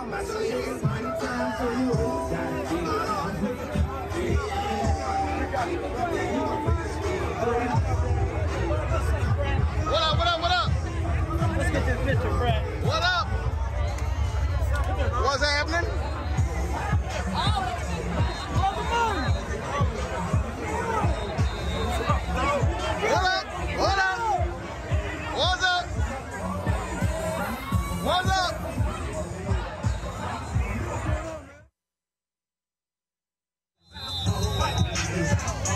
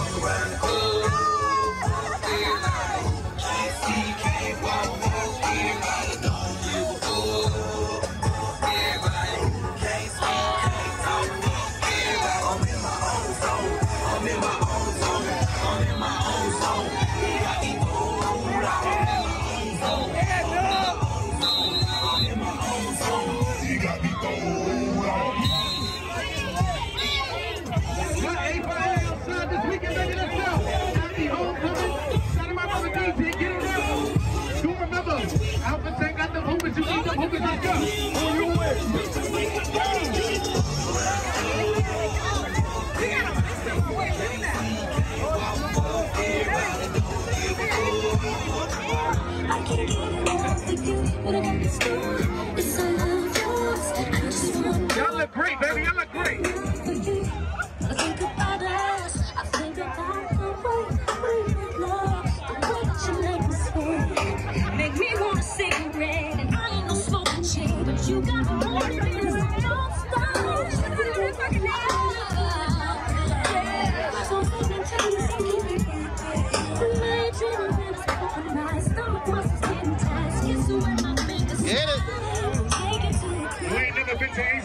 HBC Homecoming. Welcome to the vibe. I'm about to my business.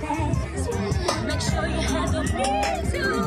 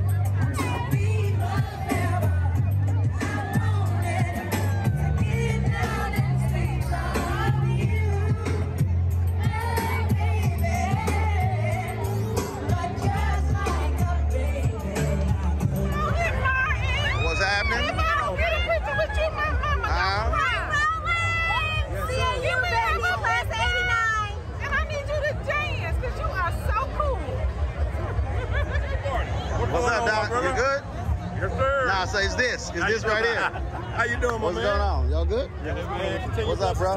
I appreciate it.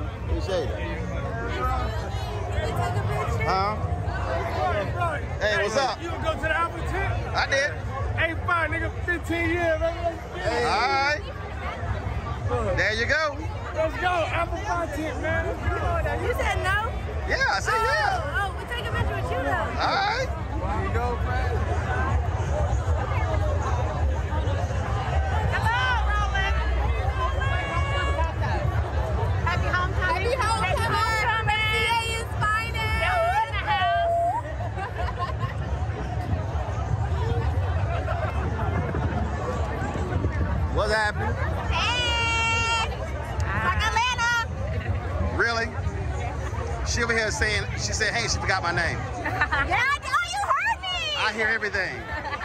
It's Roland Martin. Roland Martin. I know Yes. it, I know I know it. hear everything.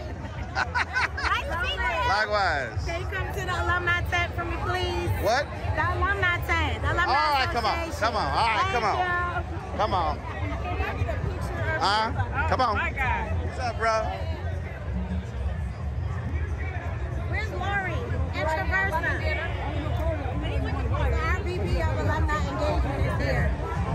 All right, what y'all?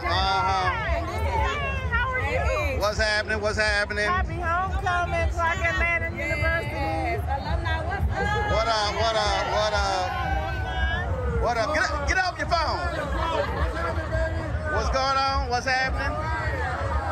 What's happening? What's happening?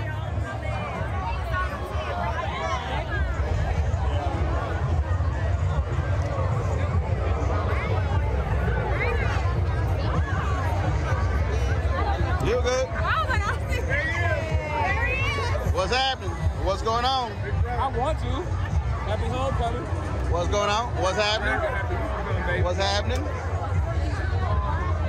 There you go. Uh,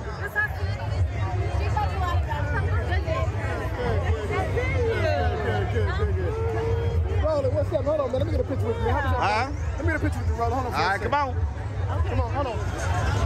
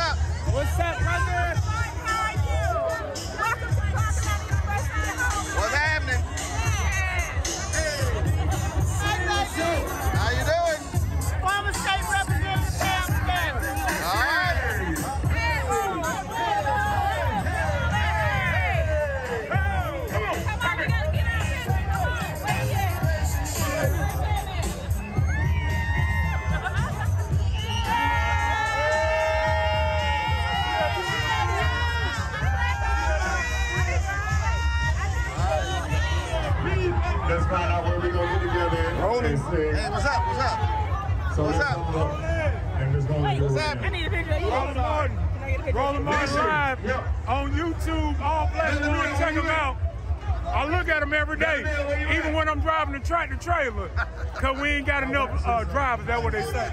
You back with that dog? You back with that dog? That dog is always here, baby. Say, hey, Hollywood. Hollywood, baby. That's a doggone shame. That's a doggone shame. She's never missed a game, I tell you. Go home. Come on, team. Get the hell out of the tent, right? I'm trying to get through. If you're not on the football team, you need to exit the tent right now.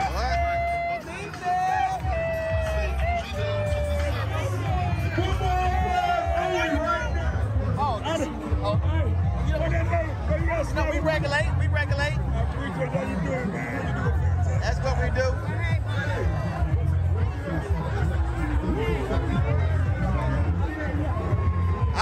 Now y'all know when y'all see an alpha, bow down.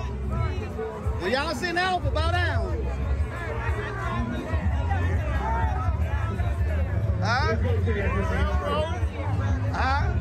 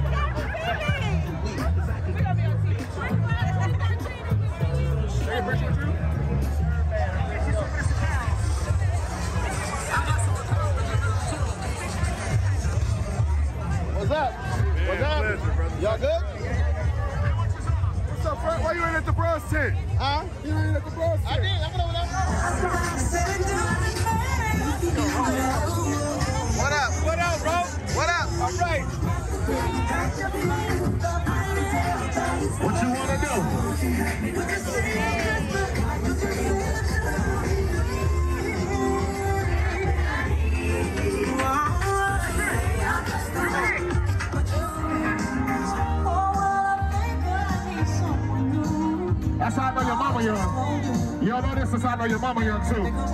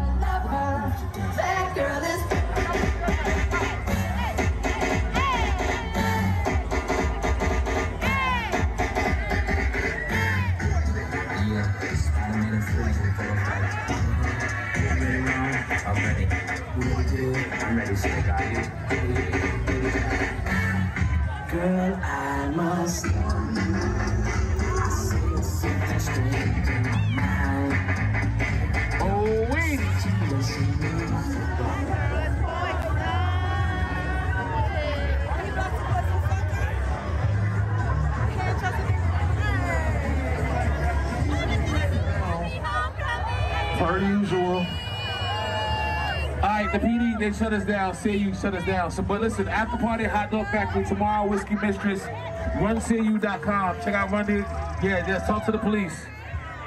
Um, whoever has that drone, come see me. I need that footage.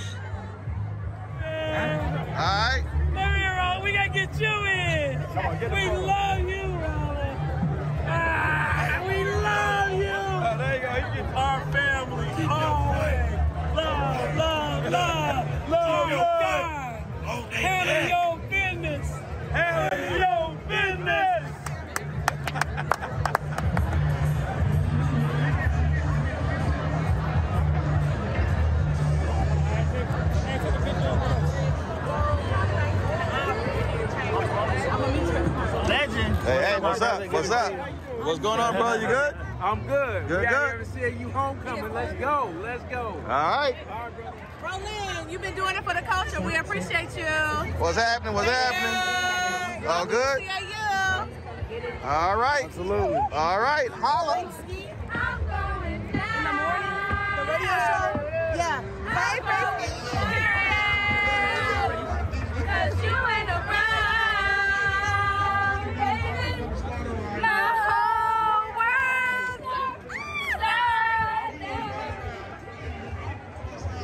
What's up? What's up? Yeah. they was on the promenade Really? Yeah. Respectfully, so was homecoming. I'm dead serious from the Bronx, New York. You heard? Coretta J. You heard? Excuse me. Hey, how you doing? What's happening? What's up? What's up? I was driving around like. Excuse me. Hey, what's, what's up? going on, What's up? What's up? What it do, man? What's happening? What's happening? Roland Martin? Yep. I'm a bro. Hello, What's you want a happening? I'm good. We started the foundation. Y'all starting the foundation? We did. Oh, started. We were featured in Essence this morning. Huh? We were featured in Essence magazine. First of all, you gotta say the name of baby. My name is Marquita Thompson. I graduated from Parkland University class of 2005. We started a Making a Way Foundation so that we can give money to the university. We need a thousand subscribers at $25 a month which is $300 annually. If we get the uh, 1,000 subscribers, that's $300,000 a year that is earmarked specifically to GAP scholarships. You want to tell people where to go? Making a Way Foundation. You have to scan a QR code that's on your button. You know the website? Absolutely, makingawayfoundation.com. Hold up, you gotta say that. Say it again. Makingawayfoundation.com. All right. Thank you. Want a cup? I'm good. I'm good. Hey, what's happening? What's going on? Oh, wait. Hey, hey. What's up? Take a picture of the front. Hello, Mr. Martin. How are you doing What's today? happening? We're doing well. Good. Enjoying homecoming? Absolutely. Happy homecoming. It's my senior year. I'm finna Happy So y'all just gonna jump in front of them while they talking now. Yes. CAU 21 checking in. CAU 22. CAU 24. We love that you're here. Okay. Yeah, shout out Roland Martin. Shout out Roland Martin. Okay. A person of the people. You don't know who Roland Martin is, girl. Don't say that. Y'all, that's what she just told me. No, Roland Martin. The You just told me, girl. Let The her let, let her know. The man himself. Let her know. He showed on our promenade. Let her know. Act like you know at least. I do. I remember him. Broadcast my show from here. From here. Don't do Decide to come by your homecoming today. Cut the, cut the camera. No, she else. said cut the camera. I own the camera. I, Well- own, my, I own my show. I Yeah, own my you network. having a good time. Do this here. Pull your little phone out. Pull your phone out. You need to type. You need to type in your little notes section. Your little nose section. Google Roland Martin.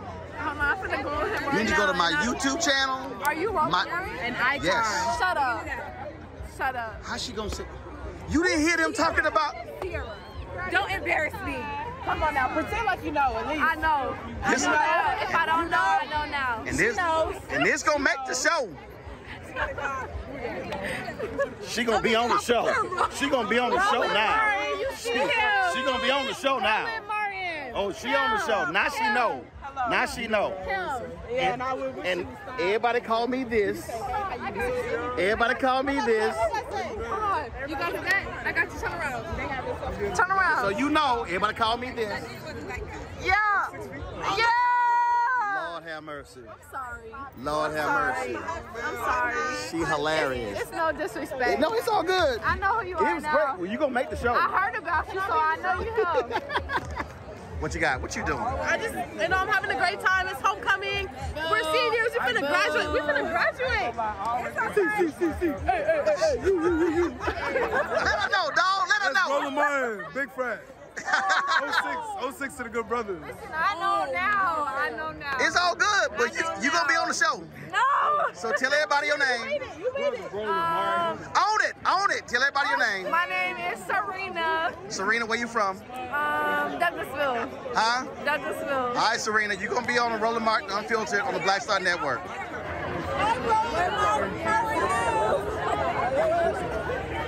What's happening? What's happening? Can I take a picture with you? What's going on? You, you. Is it okay if I take a picture? No, yeah, come on. Happy homecoming. Yes, happy homecoming. C-A. What up? What up? How she be on there? What she wants to get? Hey. Oh my God. What was that lady? What was her name that, what was her name, that lady that worked there? I remember. Yes, welcome to Clark Atlanta. the illustrious. the We all lady, Class of 08.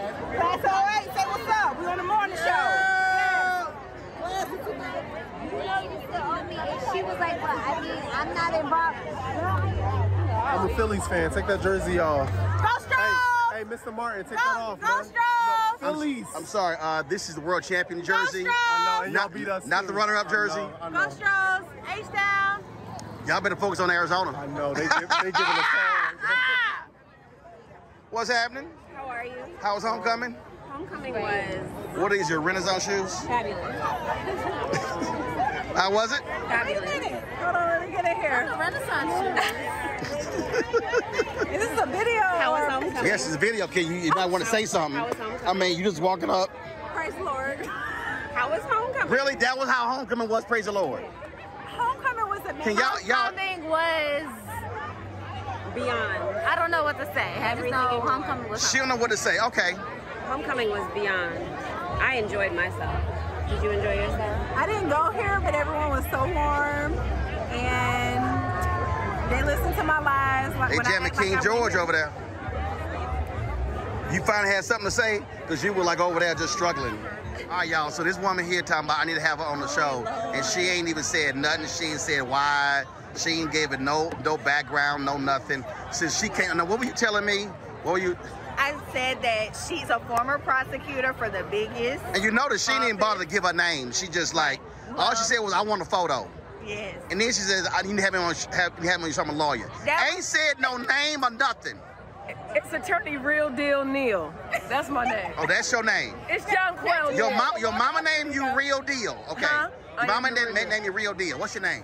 No, it is. It's John Quell Neil. Okay, gotcha. All right. Mm-hmm. Okay. Back to what? What she do? She's a former prosecutor for the Fulton County District Attorney's Office. It's the same office that we've been seeing a lot in the headlines. Yes, about I'm, the I'm aware. yes, I'm, I'm okay. aware. All right. I, I, I know what the Fulton County Okay. DA's office we is. Gotta, we oh got, my God. I don't know what my audience Really? is. I don't know what my audience is. Girl, right you here. talking to me? Okay, okay, I'm talking to. Okay. I done had- Hi, I'm Shari Trahan. I used to work there as well. She's so a lawyer as well. I am a lawyer. So what are you now? Her publicist? You see? No, I have my own firm, a personal injury firm. Oh, you personal injury. Now what you do? Personal injury and criminal defense. Okay, see, you might want to lead with that as opposed to you know. You didn't give me a chance. You ain't start with your name. It's homecoming. Why are you so intense at tailgate? Hold up. I'm not the one who stopped me and said, "Oh, you need to have me on your show one day." I'm an I'm an attorney, and I'm attorney. I'm the real deal. That's all she said. She didn't say I'm a I'm a you know I handle tax law. Uh, she had, she didn't say nothing.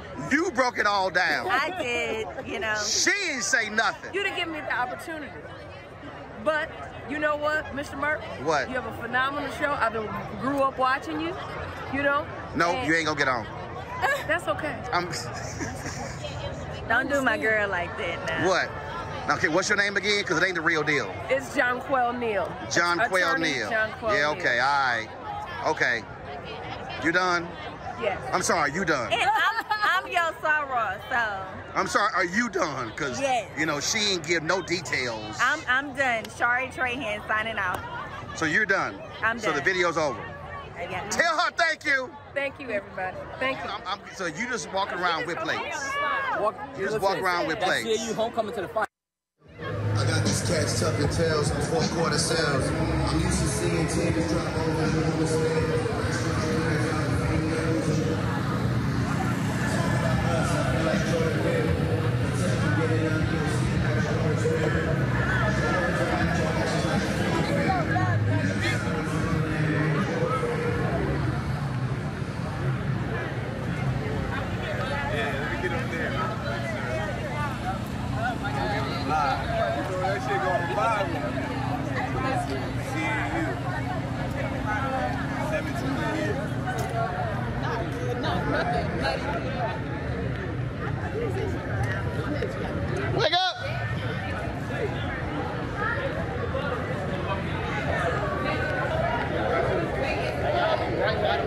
take care.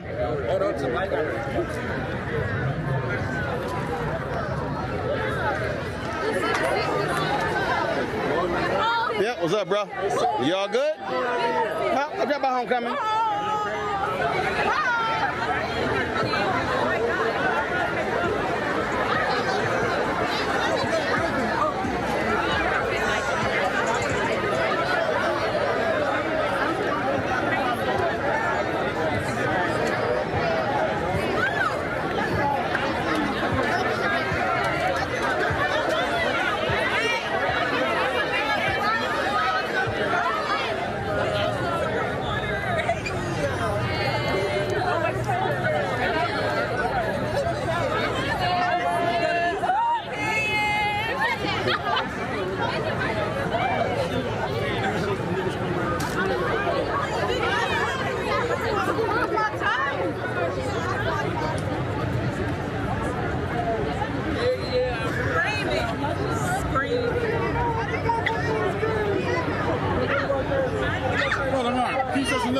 South State University. What up, SC State? I did y'all commencement. Yeah, it is. What up? Yeah, baby. Hold up. You are, there we go. All right, tell your president what's up. Yeah, it is.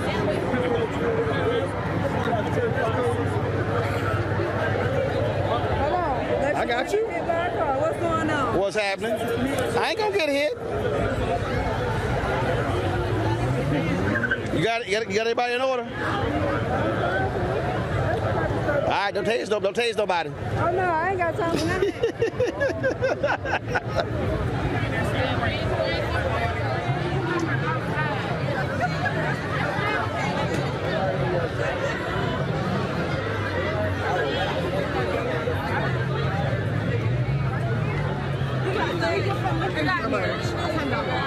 I need All right, folks. So that is it uh, from 2023 Clark Atlanta University Homecoming. It's been a blast. Um, let me thank uh, the administration. Let me thank Sam uh, for hooking me up. So uh, glad I was able to make it out. How y'all doing?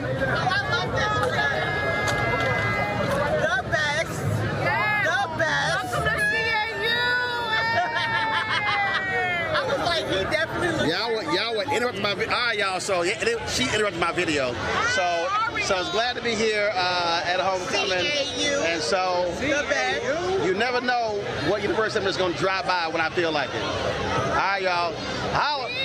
Black Star Network is here. Oh, no punch! I'm real um, revolutionary right now. Uh, thank you for being the voice of Black America. All momentum we have now, we have to keep this going. The video looks phenomenal. See, this difference between Black Star Network and black owned media and something like CNN. You can't be black owned media and be scared. It's time to be smart. Bring your eyeballs home. You dig?